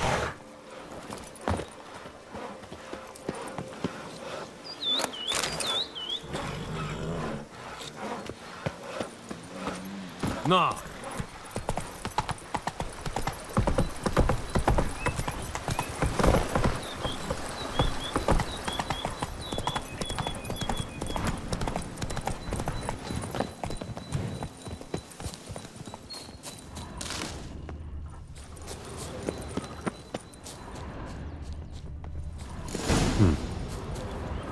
Интересно, остались здесь какие-нибудь вещи Мертена?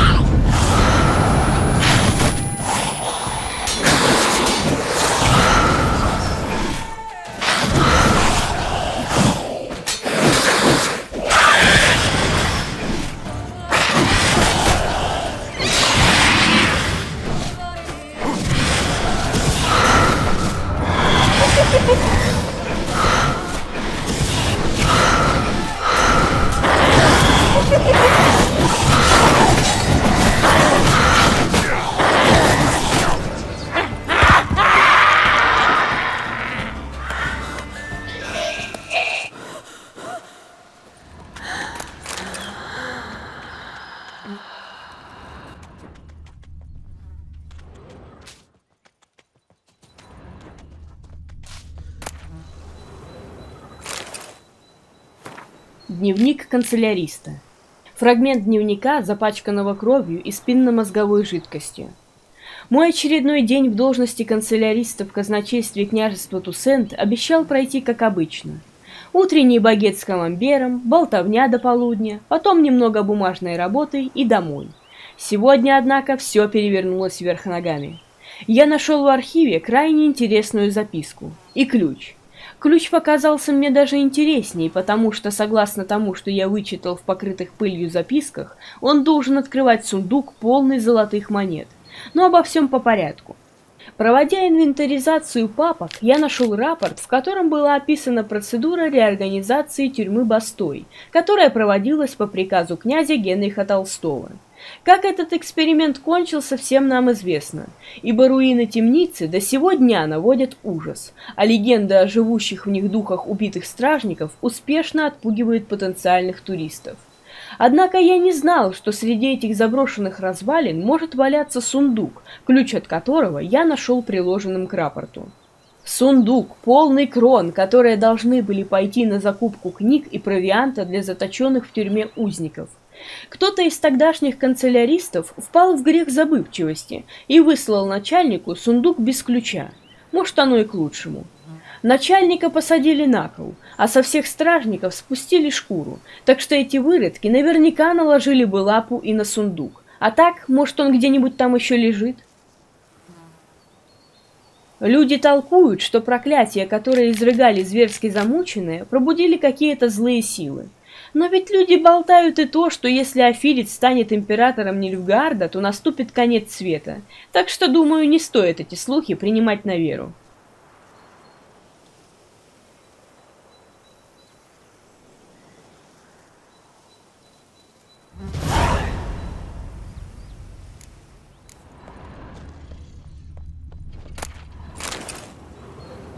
Записки приговоренного к смерти.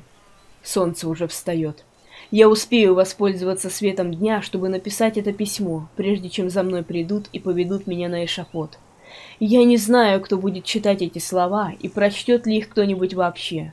Может, я пишу их просто сам для себя, чтобы выбросить все из себя перед казнью и очиститься перед самим собой. Да, это я его убил. До сего дня я лгал, надеясь избежать казни. Я по-прежнему считаю, что он заслуживал смерти за то, что он мне сделал. Поступил ли я плохо? Быть может. Но он наверняка был плохим человеком и заслуживал смерти. Последний суд — это право богов, и это они вынесут приговор, и ему, и мне.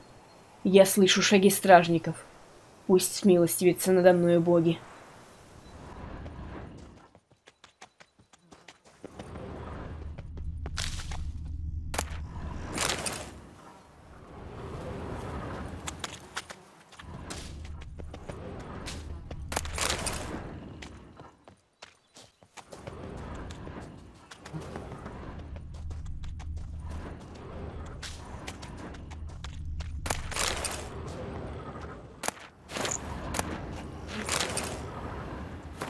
Воспоминания библиотекаря.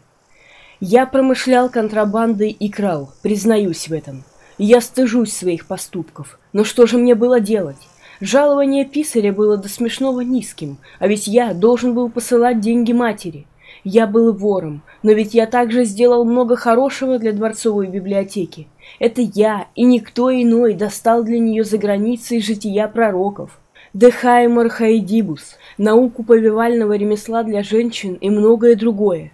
Это мне дворцовая библиотека обязана описанием всех наук для счастливой жизни необходимых и столь редкими изданиями, как Speculum Aureum или Larvis Cenicis et Figuris Comicis. Кража и контрабанда ни о чем не свидетельствуют. Истинная ценность человека определяется тем, как он относится к книгам.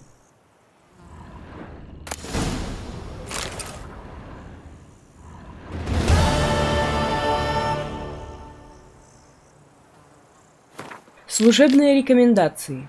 Рекомендация по ведению процедуры реорганизации тюрьмы Бастой. Начальнику тюрьмы. Согласно рекомендации его сиятельства князя Генриха III, начальник тюрьмы Бастой Якоб Олекс обязуется провести следующие изменения. Первое. Увольнение половины состава тюремных стражников. Второе. Запрет применения физического насилия по отношению к заключенным. Третье. Отмена наказания карцером, голодом и батагами. Четвертое. Разрешение заключенным располагать личным имуществом. Пятое. Разрешение заключенным совершать прогулки вокруг исправительного центра. Шестое. Закупка на присланные средства провианта высшего качества, а также необходимых дидактических материалов, привлечение на эти же средства учителей для обучения заключенных чтению и письму. Его сиятельство досточтимый князь Генрих III считает, что эти изменения в соответствии с веяниями, популярными на просвещенном юге, будут способствовать снижению уровня преступности во всем княжестве, указывая молодым преступникам новую дорогу в жизни. Младший писарь канцелярии Филипп Жоржи Симбардо.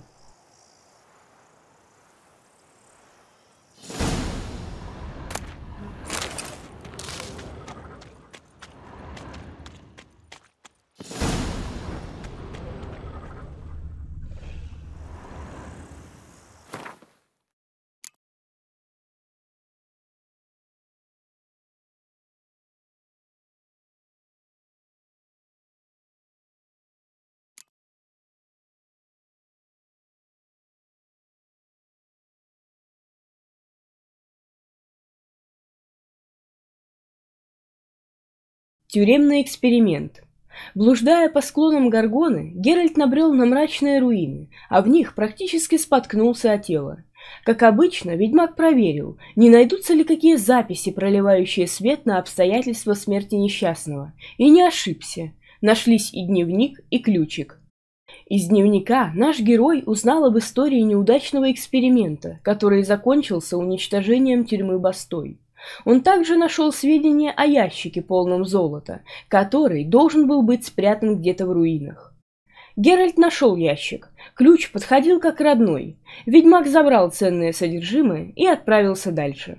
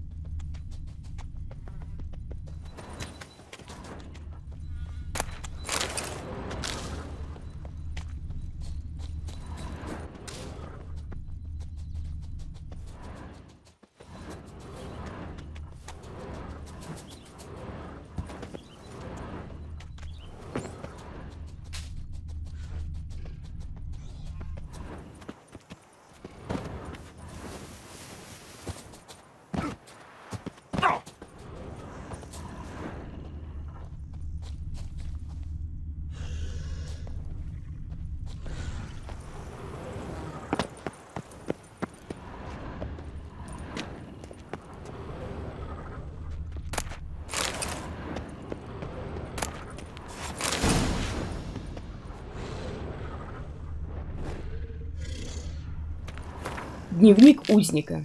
30 бирки 1201 Мой товарищ по несчастью, Мертон, что столько месяцев оставался твердым, издевался над моей верой в лебеду и прославлял прелести разгульной жизни, сегодня совсем сломался. Признал, что растранжирил отведенное ему время на утехи, а получил от этого лишь неволю и полную потерю достоинства. Я пытался его утешить и указать, что есть и другой путь, что он сможет бросить прежние привычки и посвятить свою жизнь лебеде и его учению. Пока что Мертон остается глух к моим советам, однако я верю, что когда-нибудь это изменится, и я передам ему истину. Нечитаемая запись. 17 Ламаса 1202 Просто удивительно, как же хорошо теперь беседовать с Мертоном. Даже не верится, что некогда мы взаимно не могли вынести даже вида друг друга. Ныне же это совсем другой человек. Я чувствую, что он вступил на новый путь и впитывает как губка все, что я рассказываю ему о лебеде и его учении. Какая же радость, что в этом темном и затхлом узилище пророк послал мне кого-то, благодаря кому жизнь моя вновь обретает смысл. Дописка стерта. 43 блаты. Свершилось. Наказание Мертона подошло к концу, и он покинул стены этой проклятой темницы. Наука, которую я в течение последних 20 месяцев старался ему преподать, как видно, не прошла для него бесследно. Мертон принял решение отправиться в паломничество, чтобы проститься со старыми привычками и открыть путь к новой жизни. По моему совету он решил отправиться к пещере, в которой Лебеда обрел просветление и на стенах которой начертал четыре из своих великих истин – Питаю надежду, что аура этого места поможет Мертону, как и многим до него, стяжать очищение и придаст ему сил в дальнейших скитаниях, ибо далее я посоветовал ему отправиться в... Далее неразборчиво.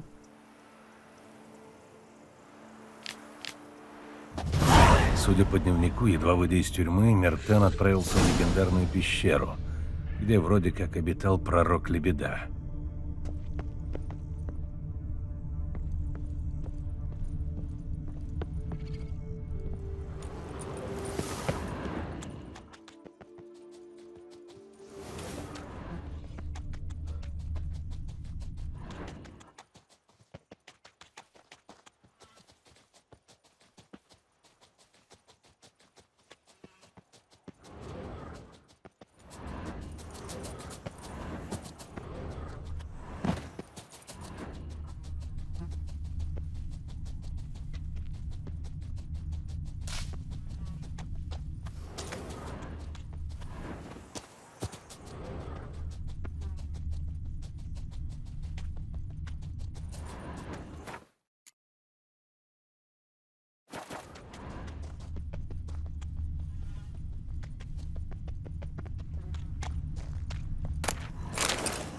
Записки приговоренной. Стражники ничего не понимают. Они заперли меня здесь и считают, что все закончилось.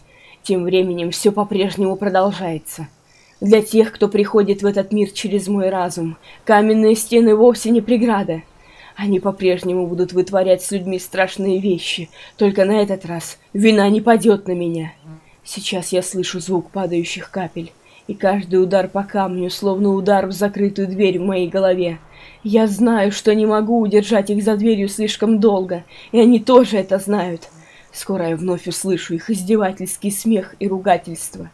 Ложка пригодится. Я проводила ладонью по ее черенку так долго, что теперь она окончательно чувствует себя частицей моей плоти. Теперь я захлопну дверь в моей голове. Уже навсегда.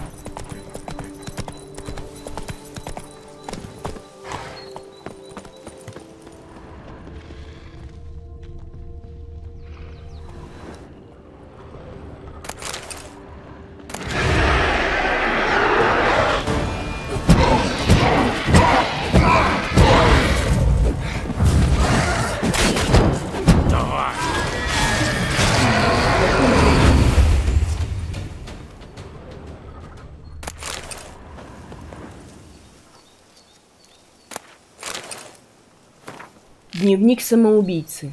Большинство страниц заполняют признание в любви, адресованное женщине по имени Шарлотта. Записи недатированы и хаотичны. Шарлотта Караян, любовь всей моей жизни.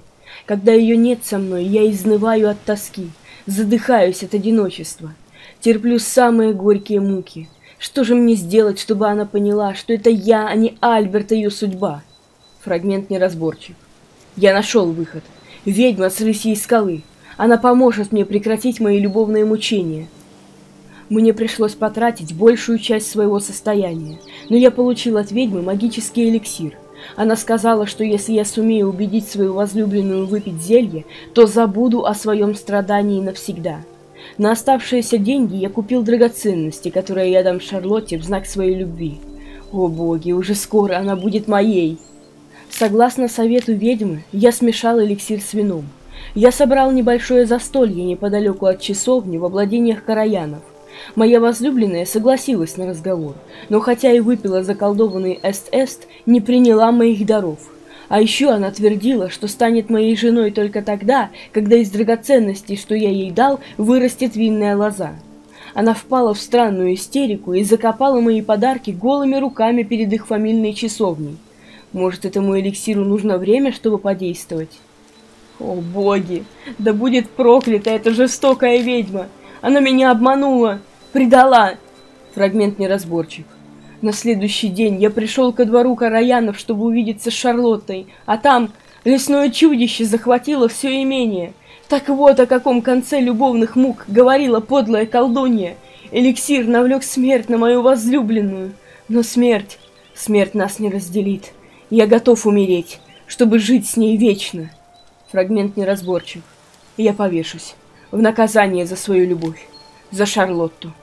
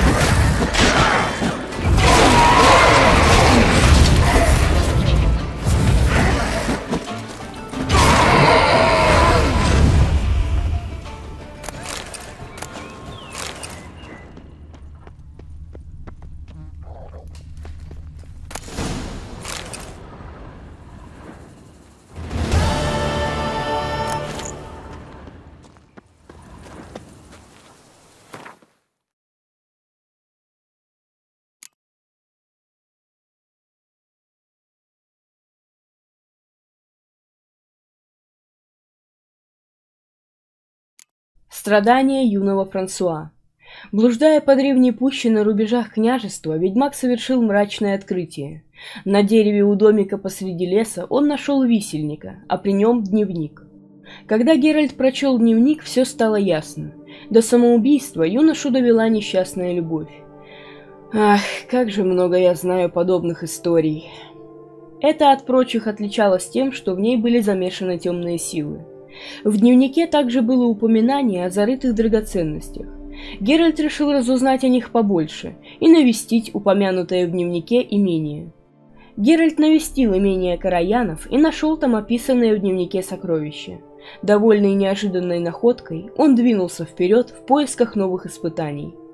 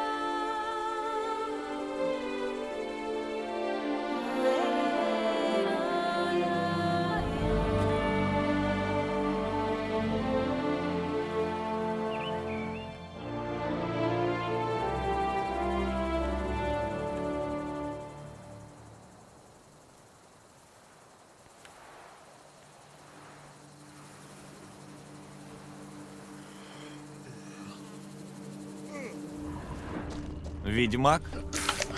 Сейчас ему жопу медом намажут.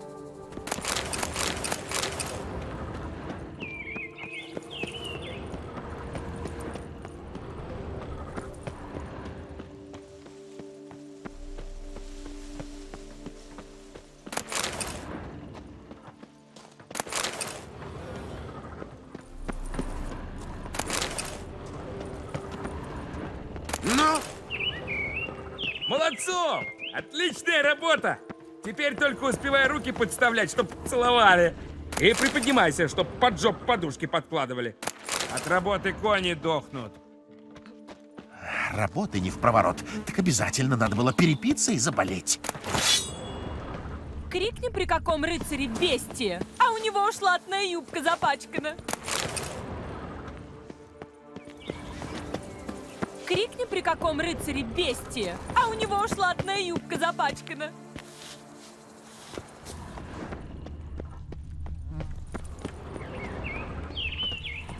Платят, так делаю. Все просто. Ведьмак? Сейчас ему жопу медом намажут. Дневник Лотты. Дневник велся старательно. Примерно 20 последних страниц написаны дрожащей рукой на покоробившейся от слез бумаге. Я понемногу теряю надежду, что Франсуа все поймет и исчезнет из моей жизни. Для него ничто не значит мои мольбы и уговоры оставить меня, оставить нас в покое. Я была так глупа и наивна, что верила, будто он прозреет после того, как увидит меня с Альбертом. Я согласилась на последний разговор — Хотела ему, наконец, объяснить, что не могу выйти за него замуж, и чтобы он оставил меня в покое. Но я напилась, а у него были такие печальные глаза. Он принес мне в дар полный мешок драгоценностей, а я высыпала эти камни, зарыла их в землю и сказала, что если из них вырастет винная лоза, то я выйду за него. Франсуа не понял, но хотя бы на сегодня оставил меня в покое. За окном шумит буря, и с минуты на минуту пойдет дождь. Собаки воют на луну, а коты начали свой ночной концерт. Это будет тяжелая ночь. А я чувствую странное беспокойство. Неужели это еще не конец этой истории?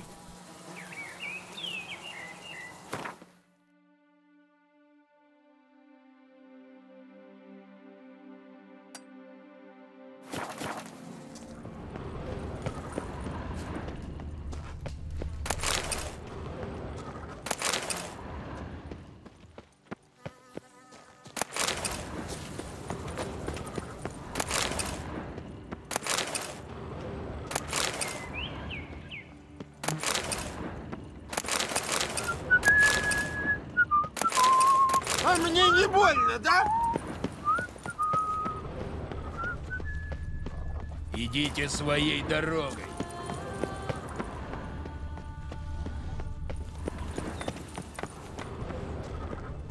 Граната, тьфу, пёсьи морды. Кто грязь отмывает, тот счастье теряет.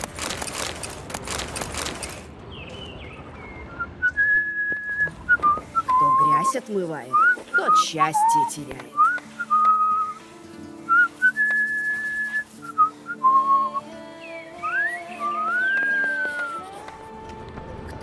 Отмывает, тот счастье теряет.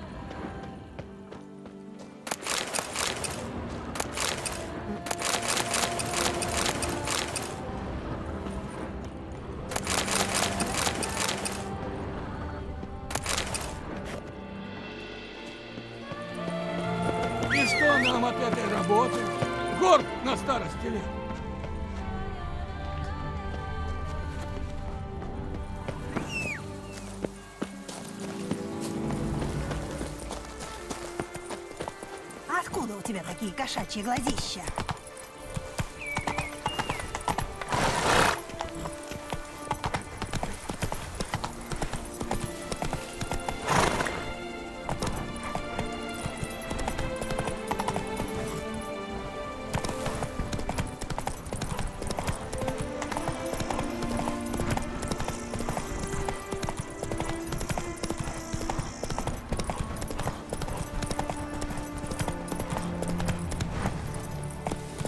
Нету сил. Не преувеличивай, Вильмар. Ничего со мной не случится. Ваше сиятельство, я настаиваю. С нами вы будете в большей безопасности. А эти, сука, здоровые! Ваше Отплынивают! сиятельство, с вашего позволения я соглашусь с Вилмором. Кто знает, что там в чаще сидит.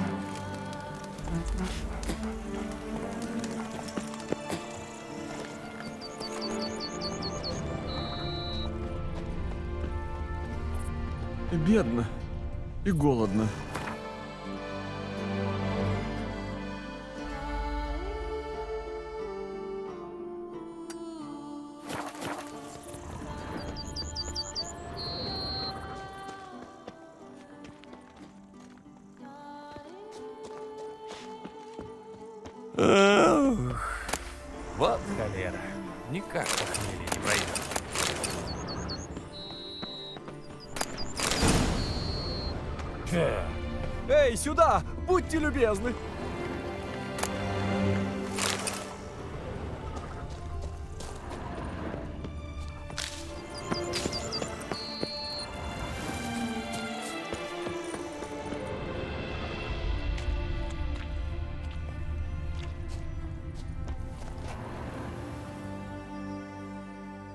Меня звал? Что такое? О, у нас тут ужасная беда с пауками. Позови бабу с метлой, зачем тебе ведьмак? Да вы не поняли, пауки огромные, собаку ростом, черные такие, волосатые, паутиной плюются. В таком случае это не пауки, а арахноморфы. Да зовите как хотите, разберитесь вы с этой мерзостью, ладно? Из этих пещер вышел бы отличный склад для бочек, если б не эти твари.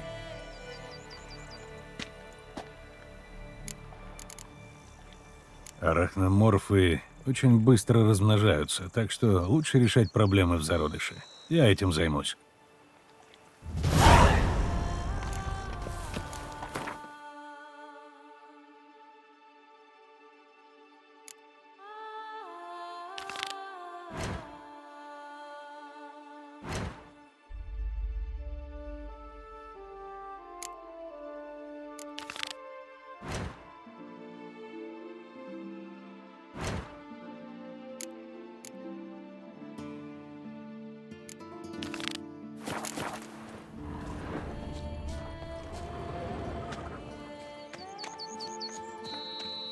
Вечером прыг в колокола. А там меня уже ждут.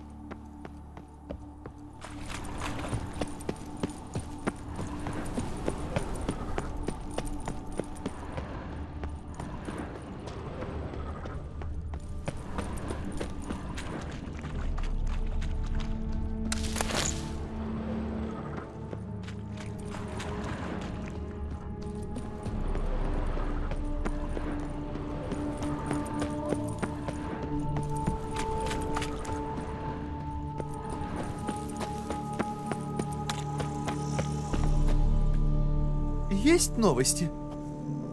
Я уже был там и навел порядок. Хвала богам! И вам, разумеется.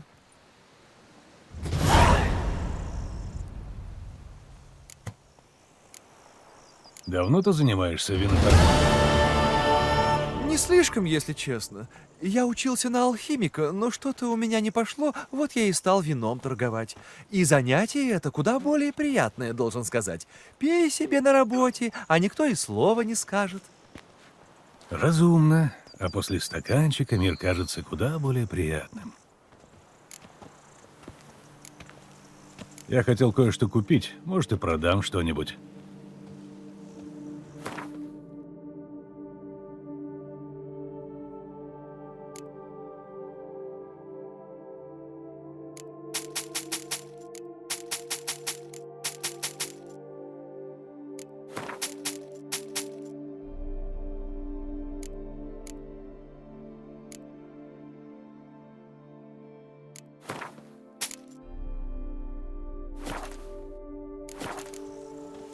Мне пора в путь. Бывай.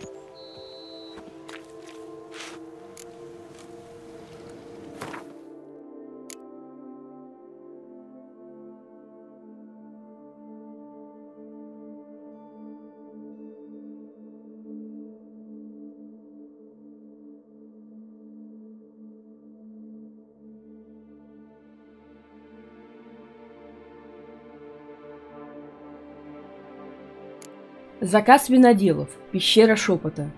Неподалеку от Кастель-Равелла Геральт встретил винодела, отчаянно нуждающегося в помощи. И помочь ему мог только профессиональный убийца чудовищ. А Геральт, истинный профессионал, быстро очистил пещеру шепота от заполонивших ее арахноморфов. Счастливый винодел тут же принялся обустраивать пещеру под винный склад, но прежде сполна заплатил ведьмаку за труды.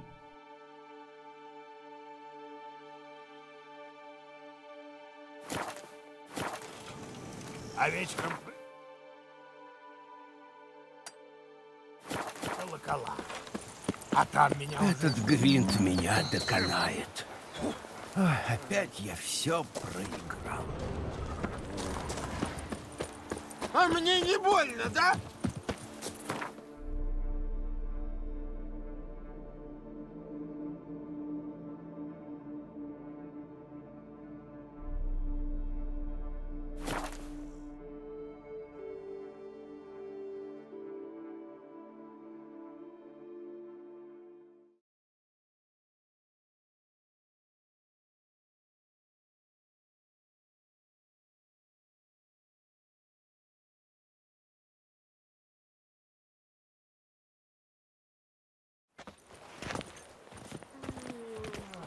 Значит, ведьмака надо было вызывать?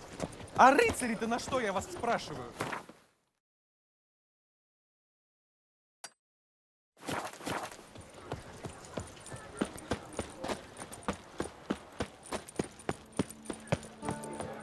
Вы слышали?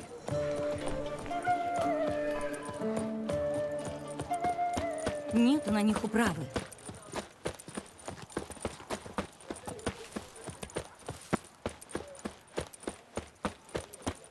Чудовищное бестие совершило новое убийство. Депейрак Кейран пал в жертву. Приветствую! Покажи мне свои.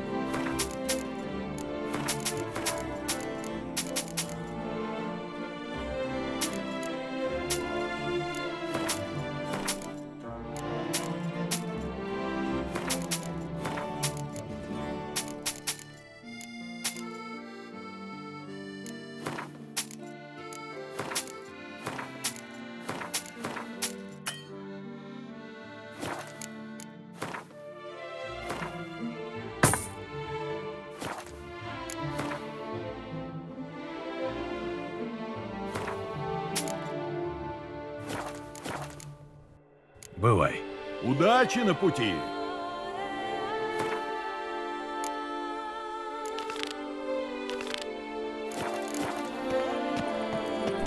Янтов приглашает на день открытых дверей. Приди. Я? Приветствую, проходите. Лучшие товары по лучшим ценам. Покажи.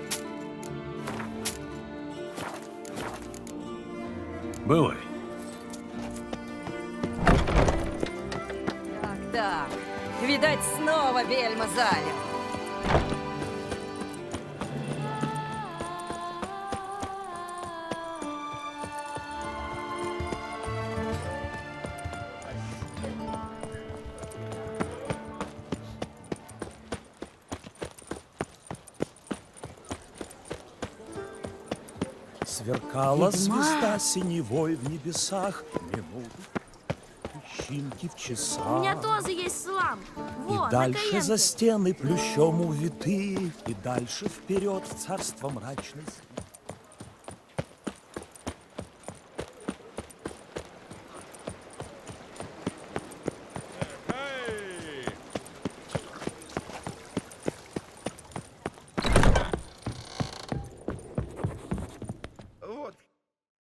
Здравствуй.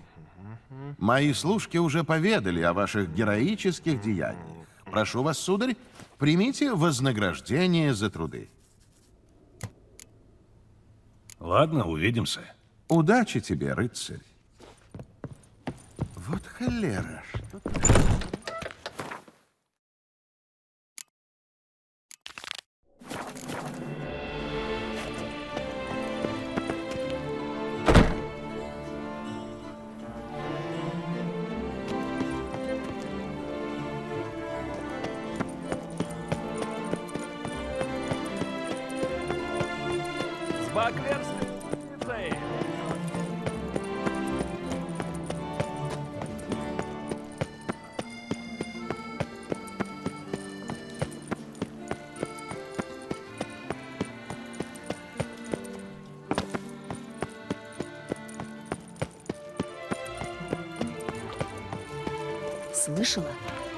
рыцарь похитил Жана Луи. Рыцарь? С чего бы это? Наш цирюльник обидел его даму сердца? Нет, он неровно его постриг. У меня добрые вести. У меня тоже. Франсуа уже вернулся. Через неделю мы играем свадьбу. Завтра мы идем слушать наставления молодым супругам. Послезавтра на примерку платья. Потом смотреть свадебный зал. Я так рада! Хм, я не уверен, что это настолько хорошая мысль. Что, простите? Его милость Легов, как бы... Он не относился к перспективе женитьбы с особенным энтузиазмом. Мне кажется, что... Что за наглость? Прошу, ни слова больше. Возьмите деньги и оставьте меня в покое.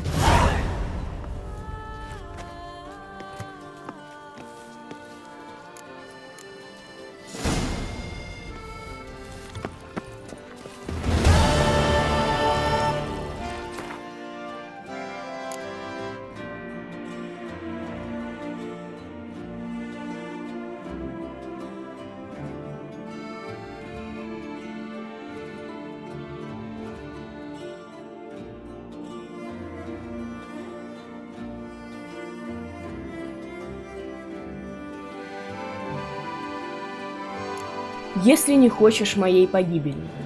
Без ложной скромности могу подтвердить, что мои песни о Геральте известны по всему свету, в том числе, разумеется, в Тусенте, где баллады, восхваляющие отвагу и честь, которыми наш ведьмак нередко отличался, необычайно популярны. Что интересно, благодаря моему творчеству Геральт как-то раз получил заказ. Молодая дама, которая знала ведьмака исключительно по моим крайне точным описаниям, высмотрела его в толпе и попросила о помощи. Речь шла о ее женихе Франсуа, который некоторое время тому назад отправился в путь, чтобы в честь своей любимой предать гибели чудовище, именуемое Готником. Молодой рыцарь долго не возвращался, и ведьмак должен был проверить, что же с ним стало. При помощи Геральта Франсуа удалось победить грозного Гротника и тем самым исполнить свой обет – Обед другого рода, из тех, которые обычно приносят перед алтарем, он хотел было в очередной раз отложить, но ведьмак воззвал к его разуму. Так что Франсуа вернулся к любимой и начал приготовление к женитьбе.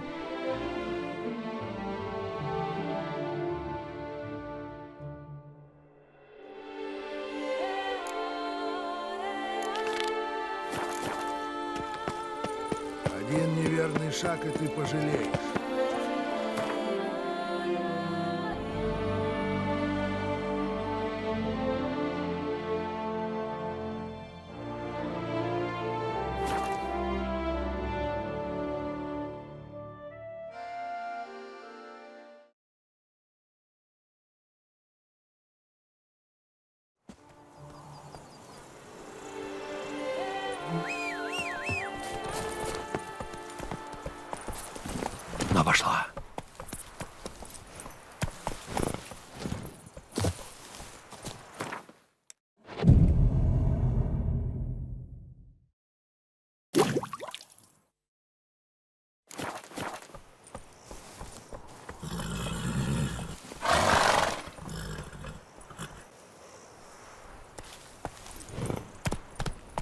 Но!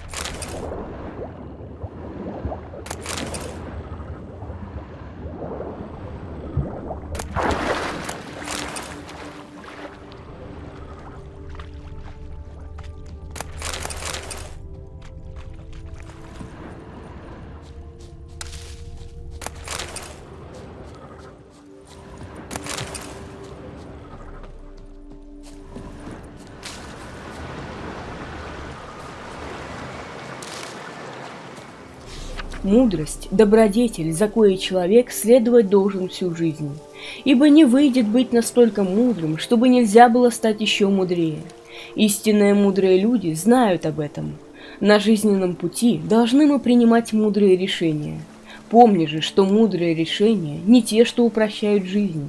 Порой они делают ее куда сложнее, зато сам ты при этом всегда становишься лучше. Честь – это нечто, чего нельзя купить. Чести нельзя также продать, ибо стоит она больше, нежели все сокровища мира. Можно ее, однако, утратить, а тот, кому такое случится, покроет себя навеки позором.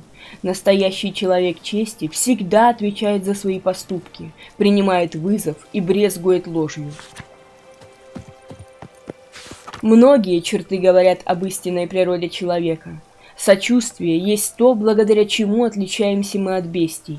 Тот, кто сочувствует, не пройдет мимо несправедливости равнодушно и всегда встанет на защиту обиженных. Отвага не сделает тебя добрым человеком, но много ли на своем пути видел ты добрых людей, слывущих трусами? Отвага есть черта, благодаря которой человек не страшится выйти один против многих, невзирая на последствия. Добрым человеком нельзя назвать того, кто не делится достатком своим с прочими людьми. Щедрость есть черта, благодаря которой живем мы достойно и умираем спокойно.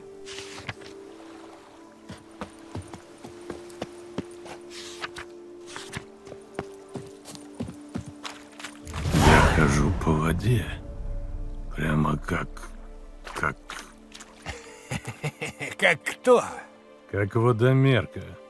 А ты что подумал? Неважно. Что, думал, ничем ты тебя в жизни не удивишь, а? Ошибочка.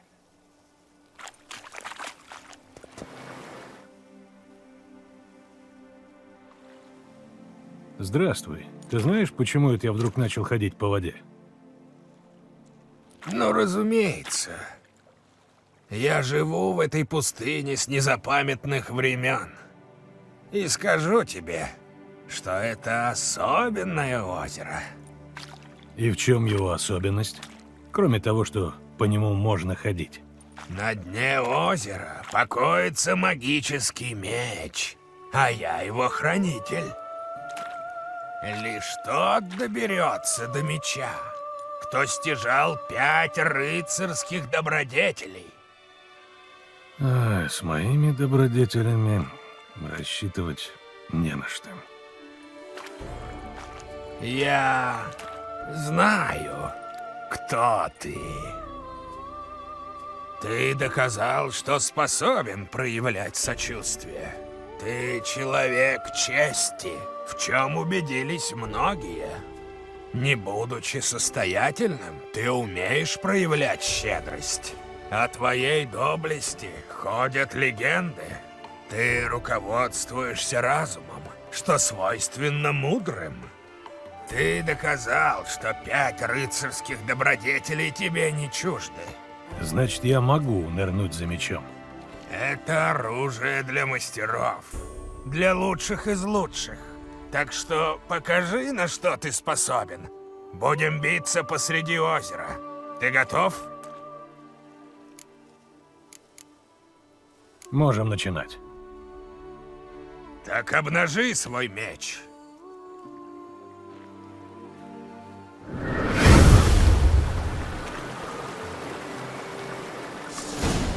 Это последний испытание. Покажи, на что ты способен. Повешу твою башку у седла.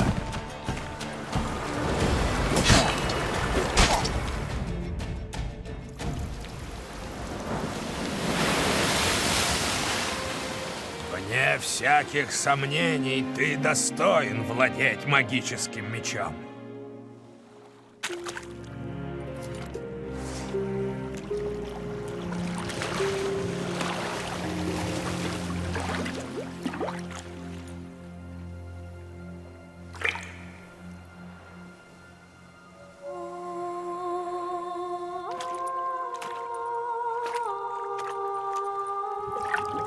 Вот и твой Арандит. Мы, кажется, знакомы. Конечно, знакомы. Пустынник же сказал, что знает, кто ты. Владычица озера. Это я. Носи этот меч и не забывай, что добыл его, доказав, что ты человек праведный и что действуешь ты во имя добра. Надеюсь, в этот раз ты его не потеряешь.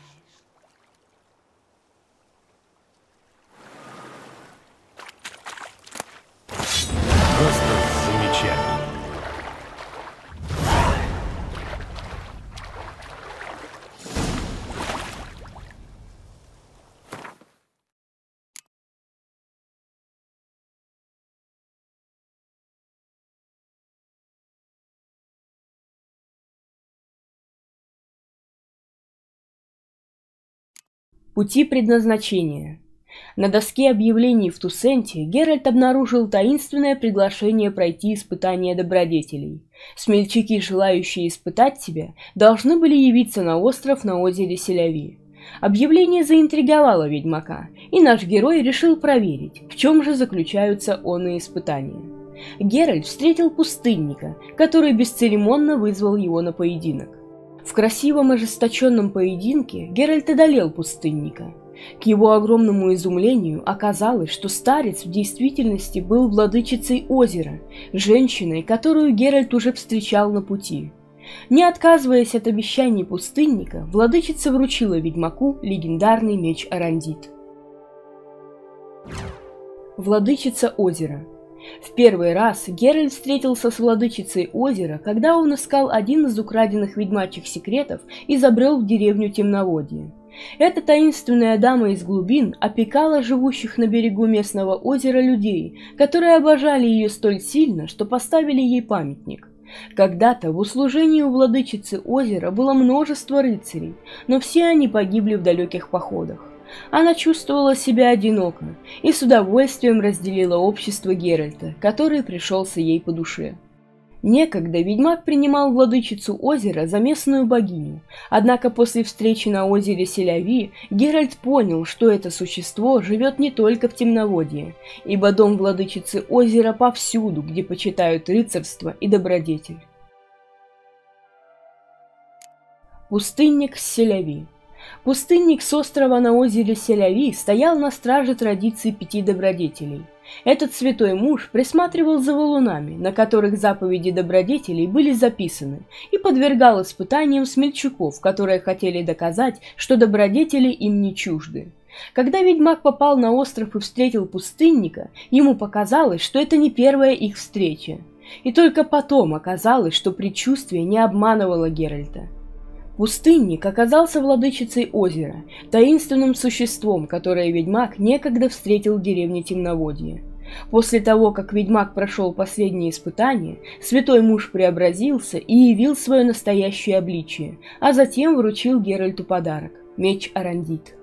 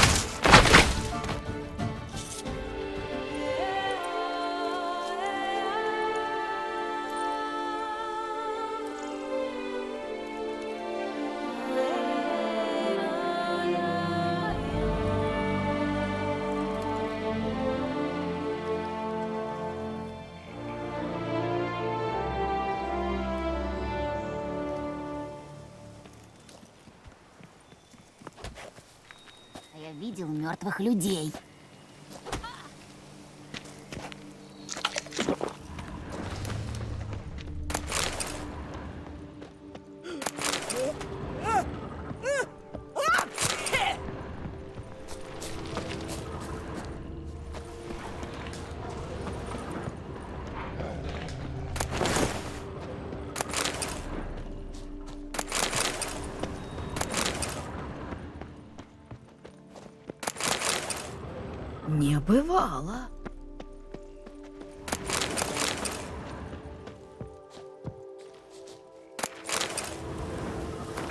Письмо от Августина Бачара. Владислав, обокрали наш склад с бочками. Мы должны быстро и справно подготовить новый запас. Читай внимательно, что вам надо сделать. Срубите 8 каштанов. Приготовьте как можно быстрее клепки, а потом отправьте их на обучение. Затем найдите 12 акаций, срубите и снимите кору. Парафинить каштановые клепки будем после того, как они придут с бучения. Не пускай ребят на работу одних, пусть ходят самые меньшие сам три. Слышал я, что эти желтые прожорливые кусты могут где угодно прорасти. Сколько ж с ними бед. Берегите себя. Августин Бачар.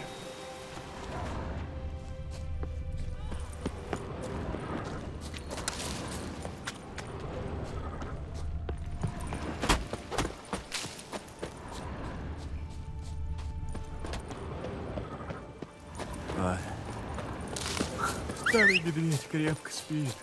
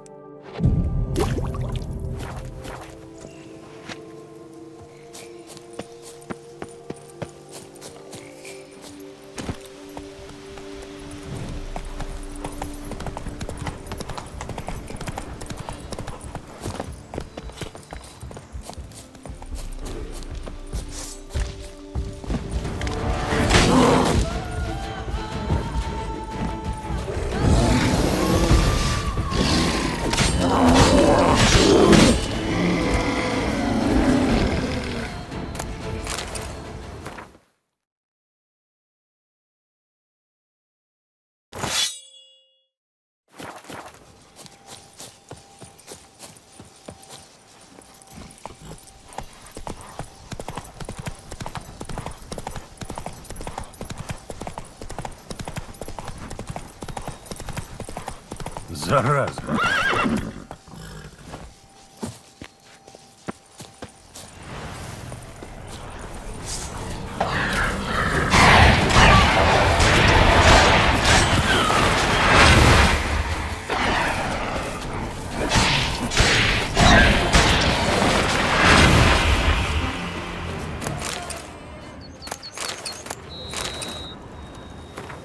Дневник Алистера Карнарвона.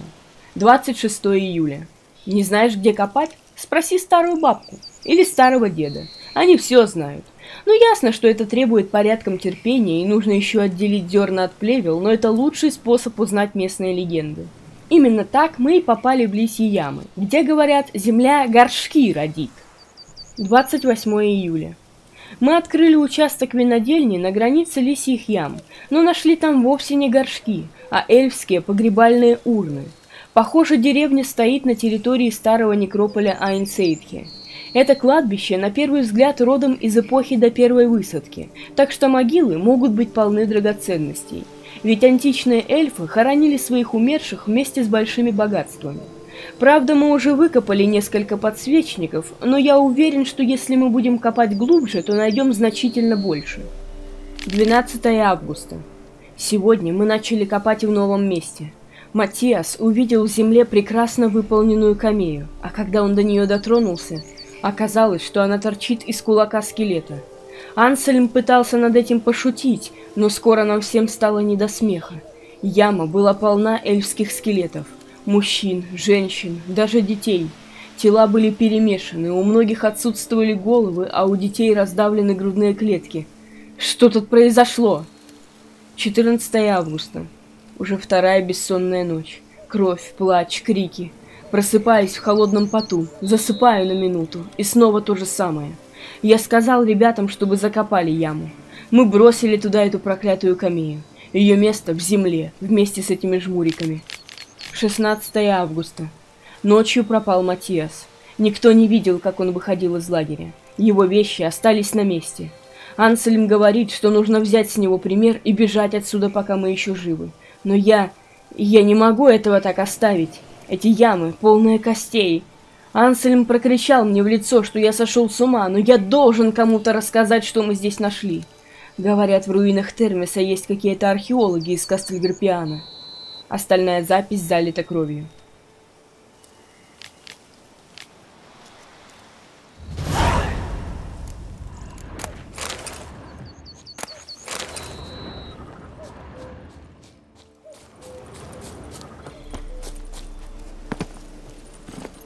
Пошла.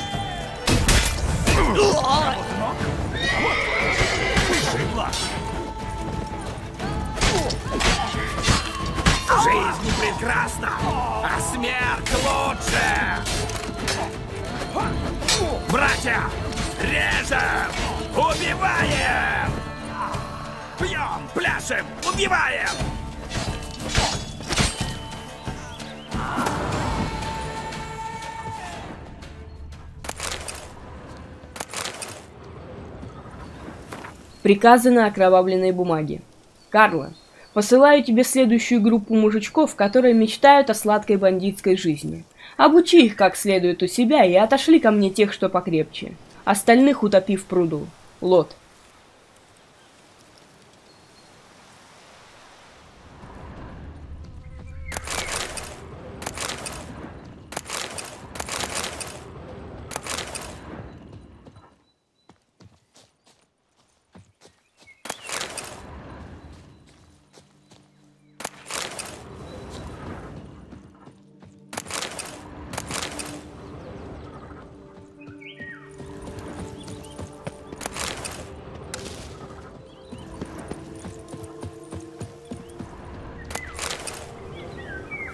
Кодекс Ганзы Лотте.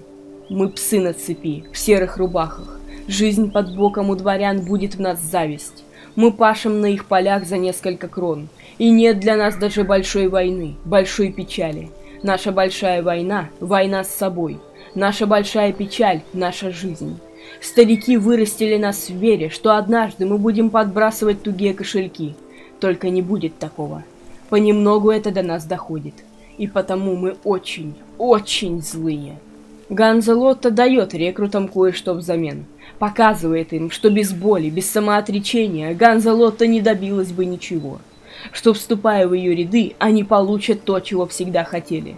Но чтобы это понять, надо быть готовым драться за жизнь. Потому что, когда придешь сюда в первый раз, придется драться.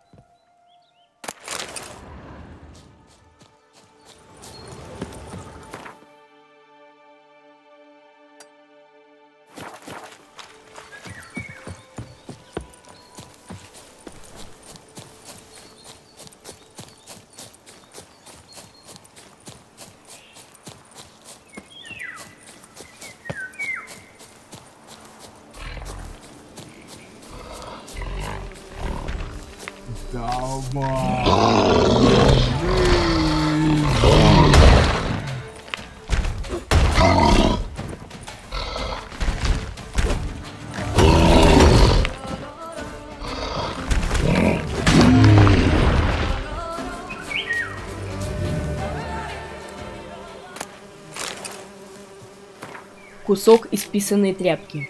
Записки, писанные кровью на куске ткани.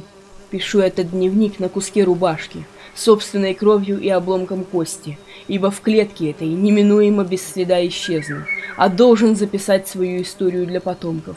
Может, Барт какой песню сложит. Пишу кратко и скупо, а то рубашка коротка.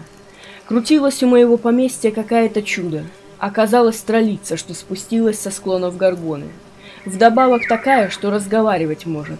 Собрал я немного крон и двинул к Камерленью, чтобы он каким-нибудь странствующим рыцарем заказал убить монстра. А она из кустов выскакивает, перед моим конем на колени бросается и говорит, что меня за возлюбленного себе высмотрела. Поскольку ни к какой женщине, даже к чудищу хамства выказывать не пристало, я ей вежливо отказал, и уже на коня хотел садиться и продолжать путь, как вдруг она мешок на меня бросила, подмышку схватила и сюда, на эту поляну, притащила. В клетку меня заперла и часами таращится, аж мурашки по спине бегут. Умираю с голоду, потому как если пить она мне дает чистую воду, то из еды у нее только суп, который эта троллица целыми днями готовит. А смердит эта похлебка стервом каким-то и цибулей. Потому лучше мне сдохнуть, нежели ужасти этой попробовать.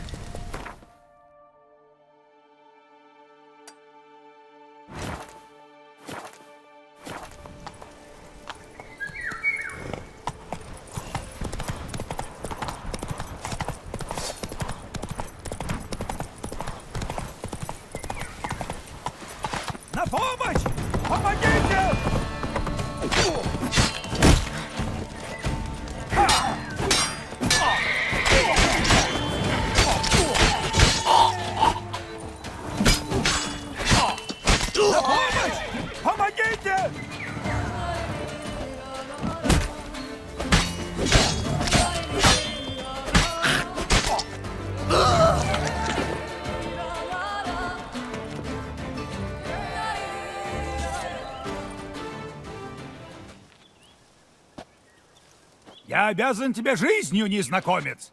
Как тебя звать? Геральт. Геральт из Ривии. Большое спасибо, сударь Геральт. Эти мерзавцы хотели уничтожить наши травки. Я думал, возьму молот и мразь эту разгоню, но стыд и срам. Их было слишком много, не справился я. Ну да хватит плакать над разлитым вином. Идем со мной в Верментино, там я подлатаю твой доспех или выкую тебе все, что попросишь.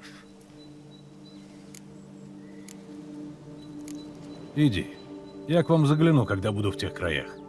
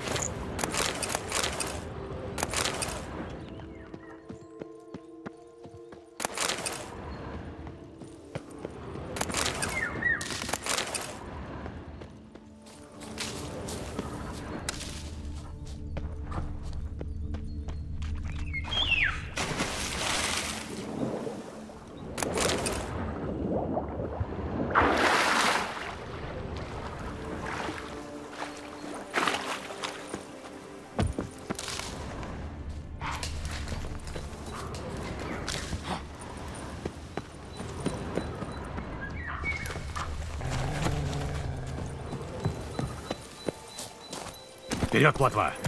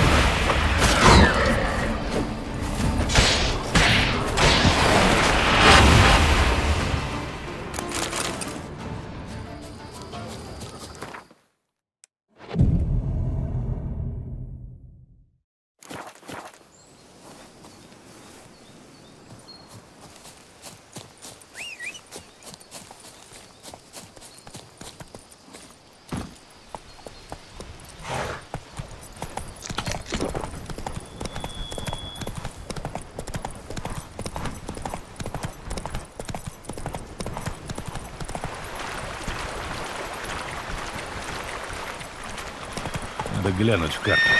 Пошла!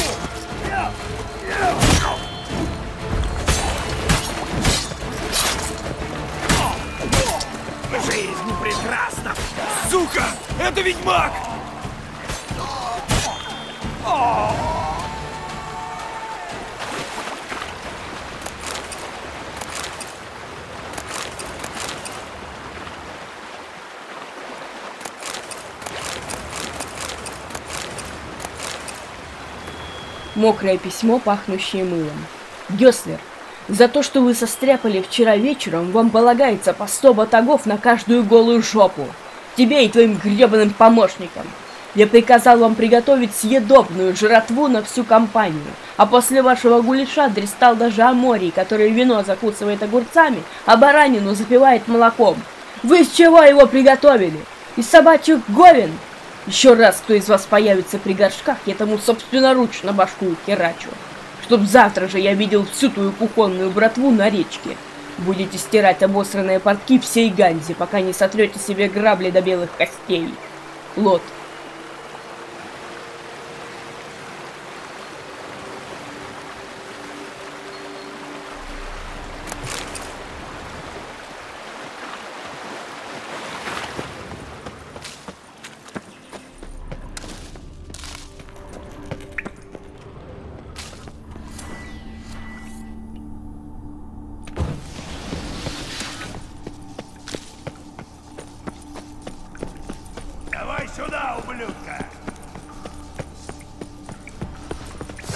Да славится пророк Лебеда! Не давайте ему передохнуть! Эх, снова здорово!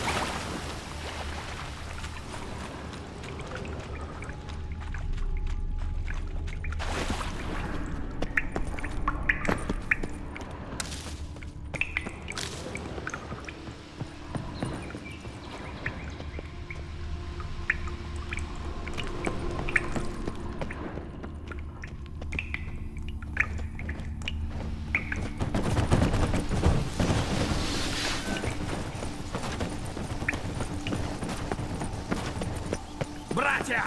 Режем! Убиваем! Не разделяйся! Сегодня за тобой смерть пришла! Повешу твою башку у седла.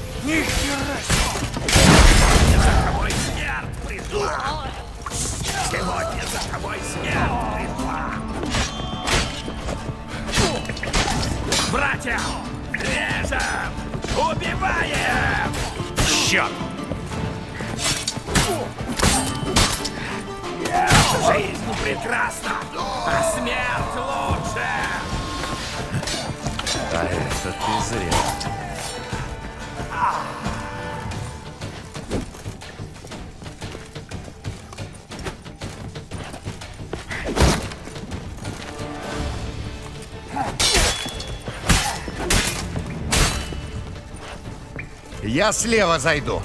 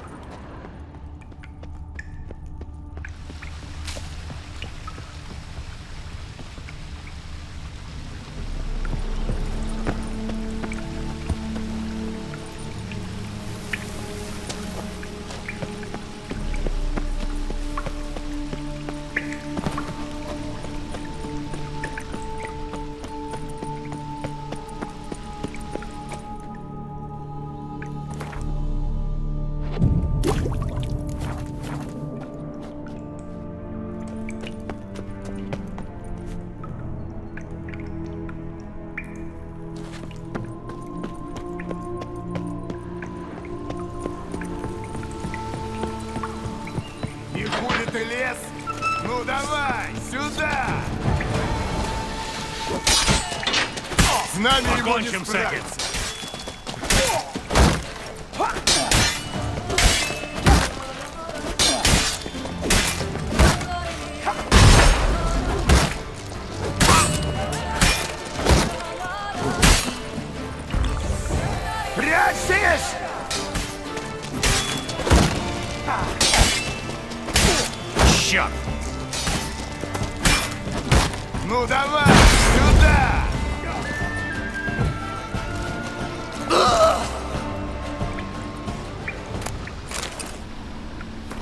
Журнал Лота. Большинство надписей трудно расшифровать. Несколько листов испачкано жиром и кляксами. День 143. Вот что значит популярность. Столько в последнее время желающих примкнуть к нашей ватаге, что я должен проводить отбор. К сожалению, большинство из вновь прибывших настолько хлипкие засранцы, что если кто из них выскочит перед караваном и начнет стращать грабежом, то даже кони усрутся от смеха. Поэтому сейчас за тренировку новичков отвечает Карло. Он разбил лагерь к югу от Рысьей скалы, на которой живет какая-то ведьма. Для меня эти старухи хуже моровой язвы, и я бы сам с удовольствием разложил для такой костерочек. Но вот после того, что стряслось в поместье Караянов, я готов себе наспор яйца отрезать, что это ее делишки.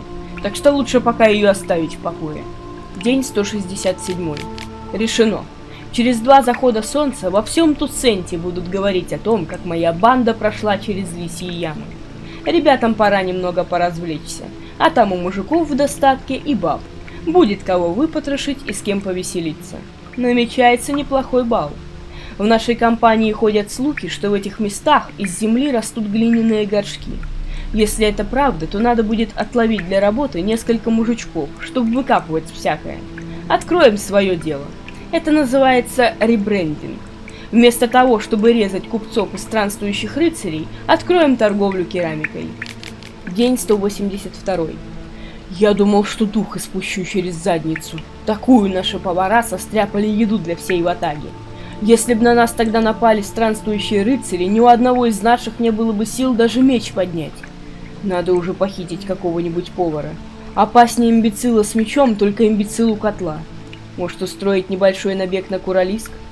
Суп для платагонов был бы приятным разнообразием после этого гуляша из собачьих говн.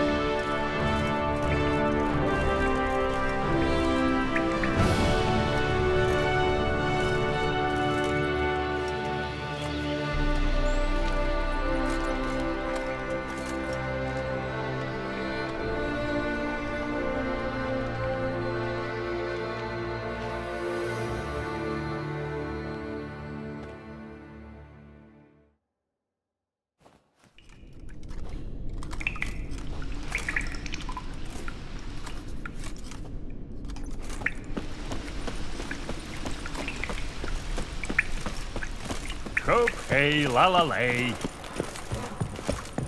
Мое почтение победителю турнира. Похоже, вы сделали за нас нашу работу. Если это вы их должны были перебить, то да. Они были, можно сказать, чирьем на жопе Тусента. А самым подлым из них был Лот Полуэльф. Лот Полуэльф и правда полукровка? Что ж вы сами не взглянули, пока с ним разбирались? Так его называли. Но был ли он полукровкой? Не знаю. Да и как его, полуэльфа, опознаешь? Одно ухо нормальное, а другое острое, что ли? И то верно. Верно, что у них уши разные? Нет, что ты ничего о них не знаешь. Позволишь взглянуть на товар? Прошу, прошу. У меня доспехи наипервейшие. Но вы же мастер, сами все видите.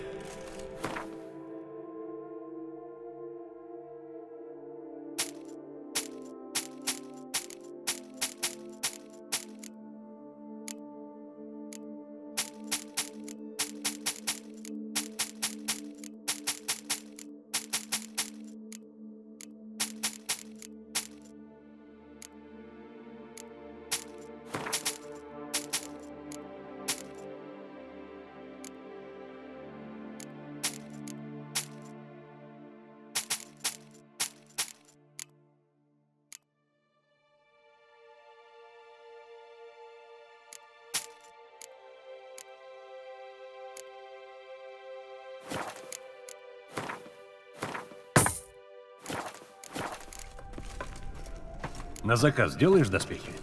А как же? Если б не делал, что ж я был бы за мастер? Вы скажите мне только, что нужно, и я все сделаю в лучшем виде. Бывай. Ведьмак одолел наших рыцарей на турнире.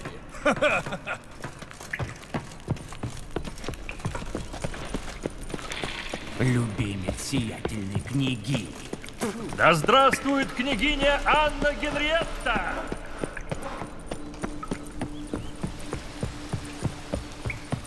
Кто гвардейцев не боится, тот окончит дни в темнице.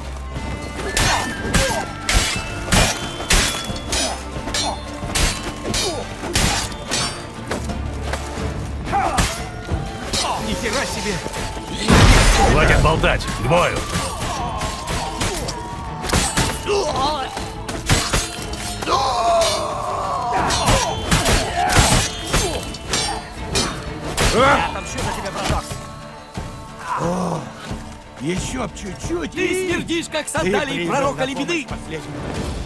Благодарю тебя. Обходи его, обходи!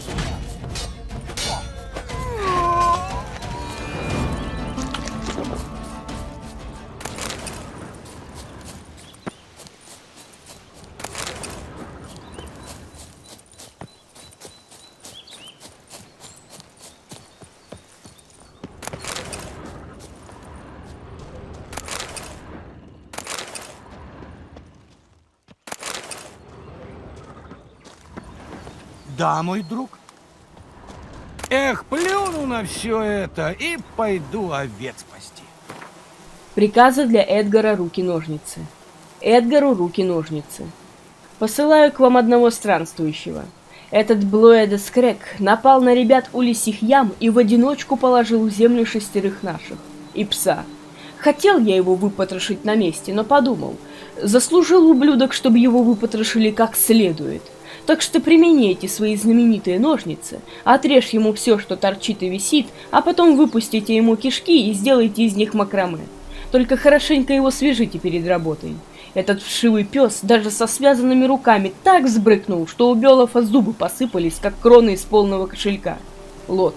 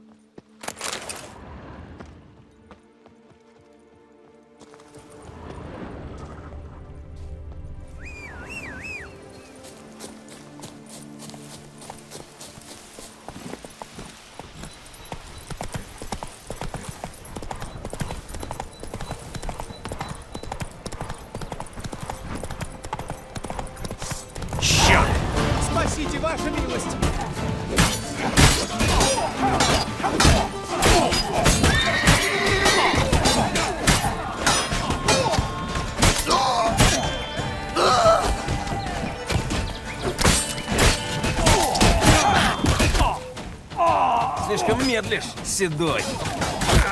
Спасите, ваша милость!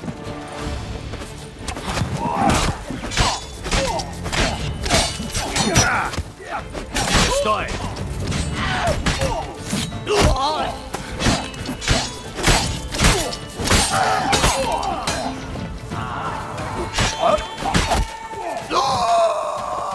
Спасите, ваша милость!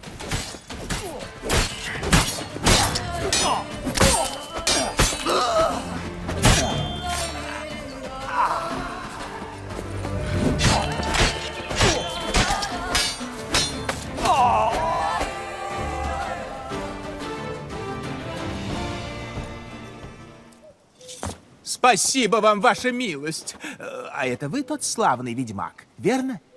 Верно. Только приведу в порядок повозку и поеду к памятнику. Там меня уже ждут.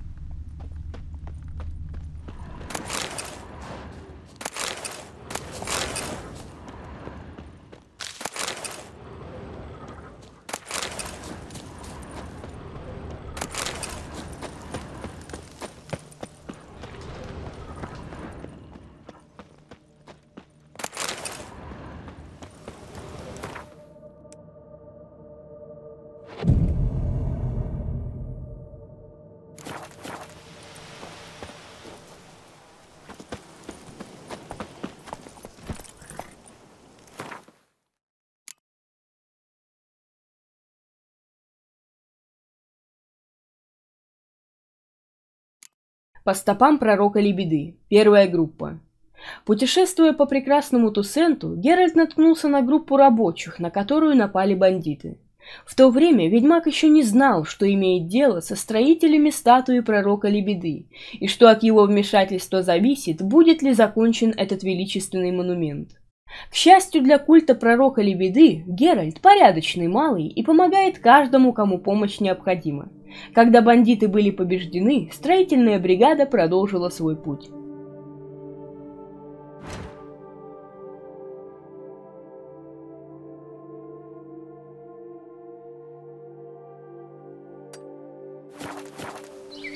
Шевелись, плотва.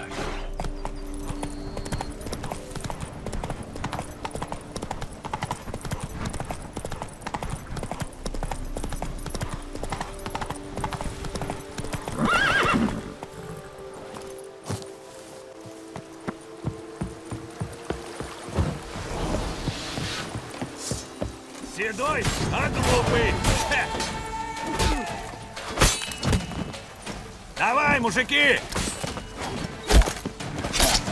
Ты убил его! Ты, ублюдок!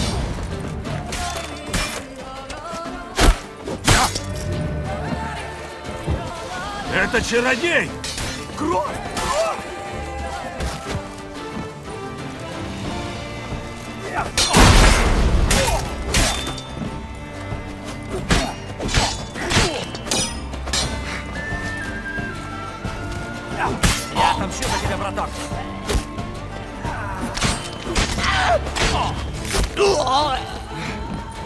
Обходи его, обходи! Кровь! Кровь! Жалкое зрелище.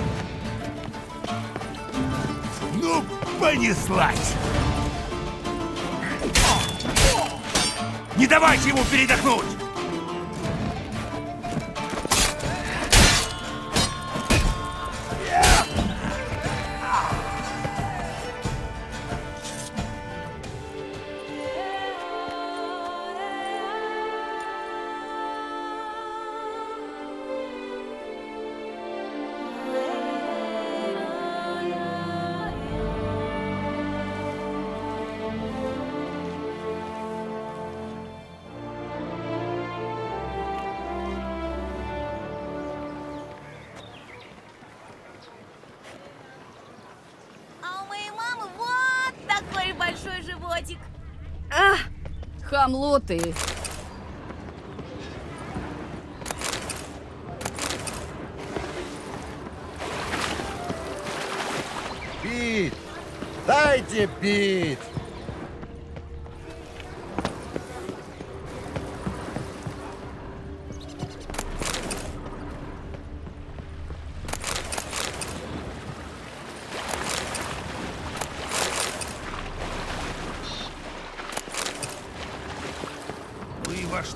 теперь верите?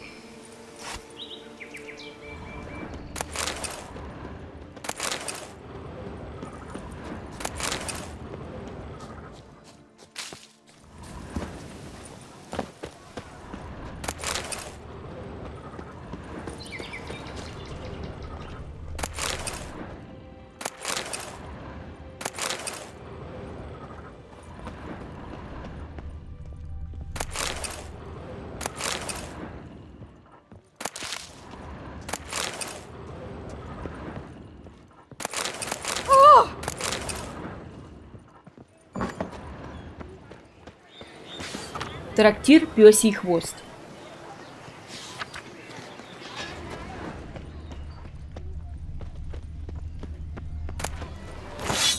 Что принесет нам завтра?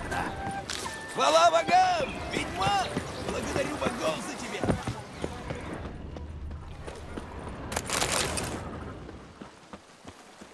Эх, если б в кошеле было хоть что-то.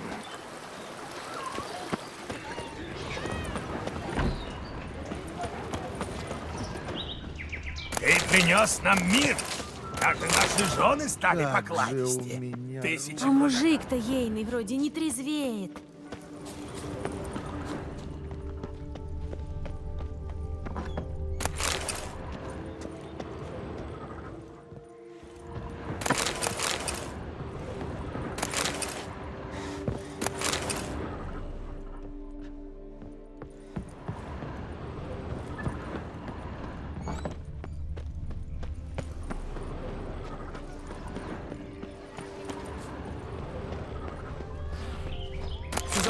Да, господин. Спасибо. Хорошо еще хоть тепло.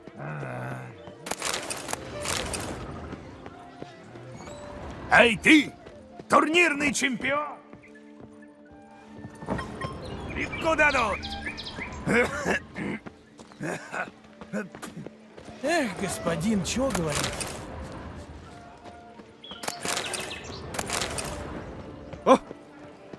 Ау! Вот как сейчас мужа позову.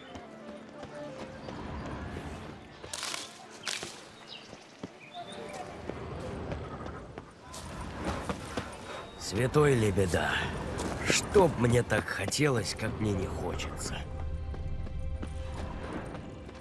Пить! Дайте пить!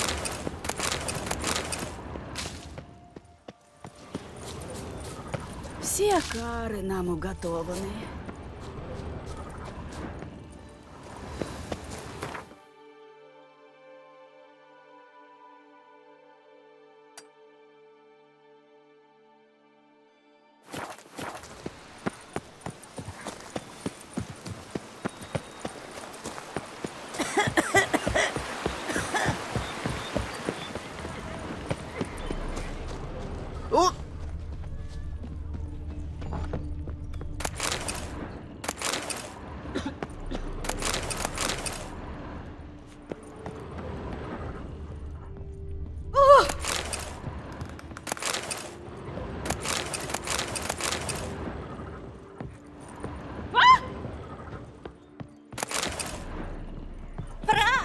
Празднуйте, пока вино не кончит.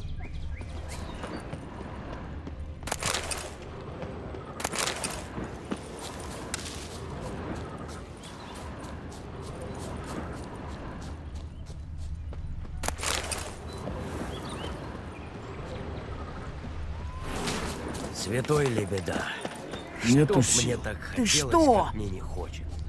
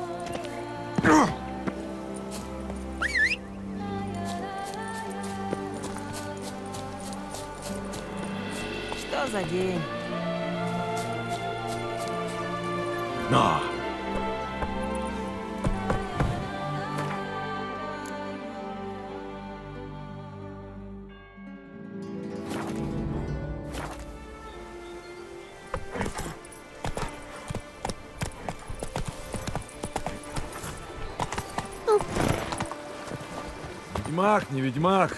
Вкалывать надо.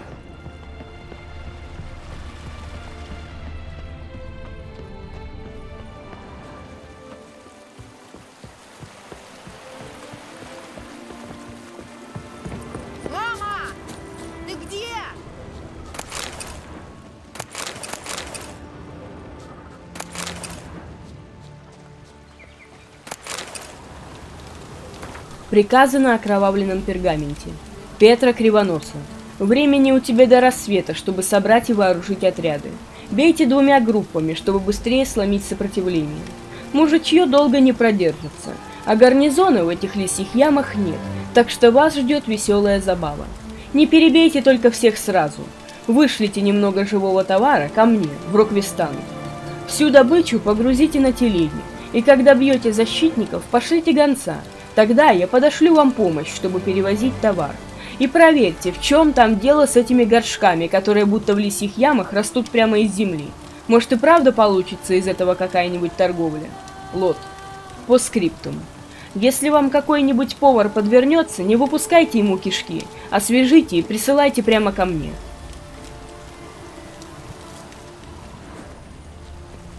Если кто, мол, ты богат, то может и выпить.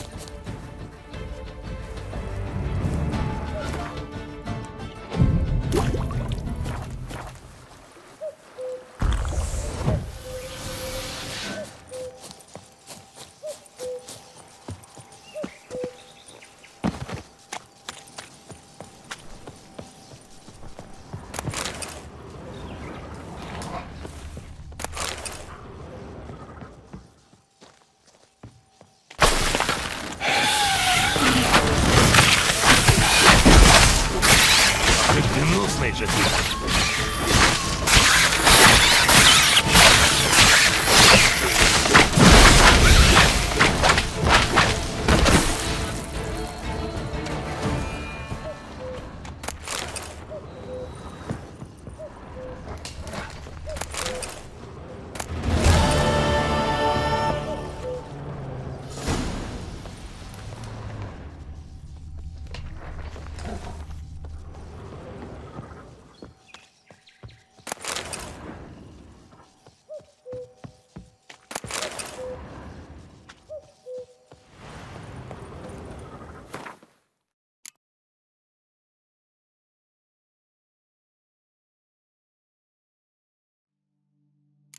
Проклятие Карнарвона. В поисках крупицы отдохновения в лесах, покрывающих склоны горы Гаргоны, Геральт обнаружил покойника и стаю баргестов. Когда ведьмак расправился с призрачными бестиями, он решил осмотреть карманы незадачливого путешественника в поисках каких-либо записей, которые пролили бы свет на последние дни несчастного. Как оказалось, умерший при жизни был охотником за сокровищами. По крайней мере, так я хотел бы о нем думать, ибо не годится дурно говорить о покойных. Из его записок следовало, что он вместе с ему подобными раскопал эльфское кладбище вблизи лисьих ям. Однако они выгребли из могил на одну драгоценность больше, чем нужно.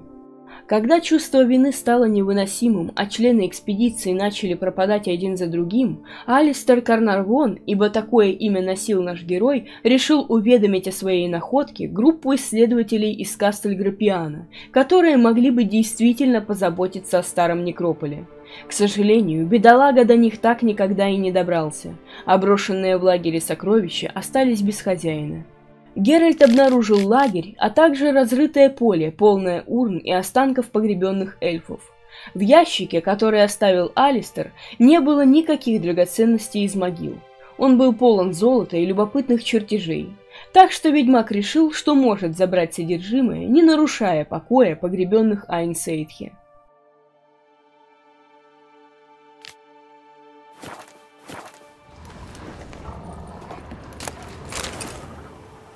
Письмо на старшей речи.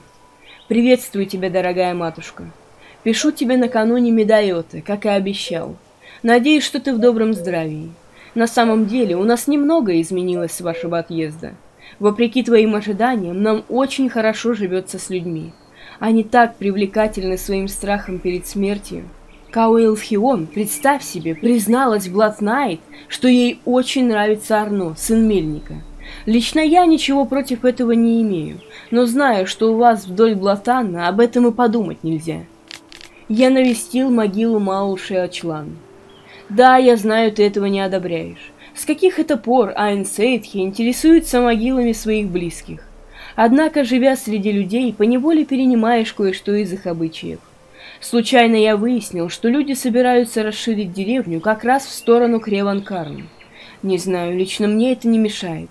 Но Блад Найт, ты ее знаешь, подняла крик, что это профанация, и что почему бы им не найти место еще где-нибудь. Надеюсь, это не приведет к какому-нибудь большому конфликту. Нам здесь так хорошо. Остальное письмо неразборчиво.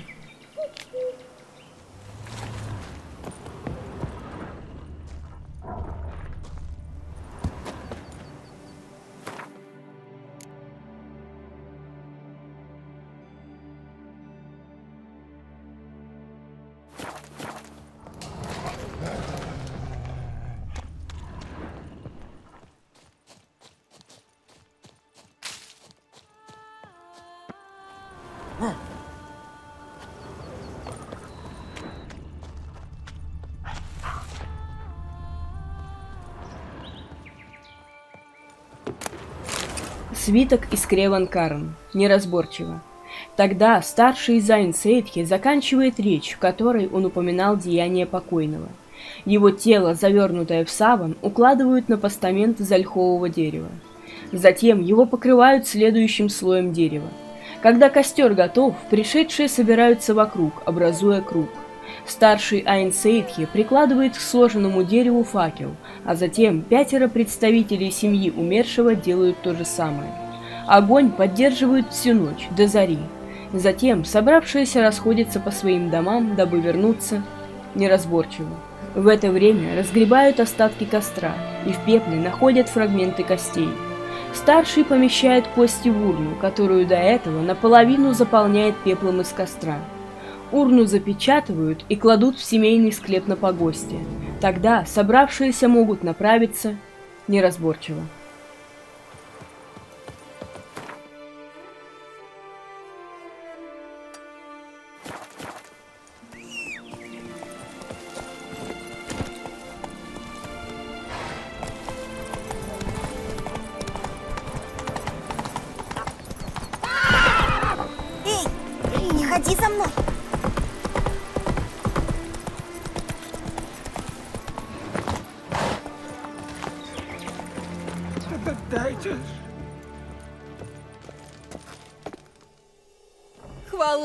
Святому лебеде! Это он вас не спаслал нам во избавление! Нет, я просто ведьмак, я здесь случайно оказался. В том и есть умысел пророка. Он вас вел, он ваши стопы сюда направил. Ну, раз так. Как вас звать, герой? Геральт. Геральт из Ривии. Геральт. Чудное имя. Такое м, благочестивое. Пить хотите? А может, покушать что? Ты хорошо знаешь историю этого края. Я наткнулся на пару эльфских свитков. В них описано, что... э, что случилось с эльфами, жившими в лисьих ямах. Я ничего такого не знаю. Так, пить будете что? Или покушать? А, ну посмотрим, что у тебя есть.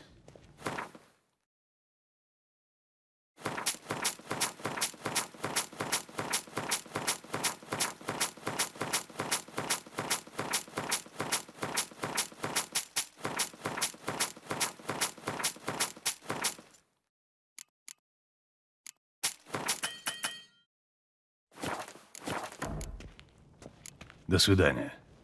Уже жду вашего возвращения.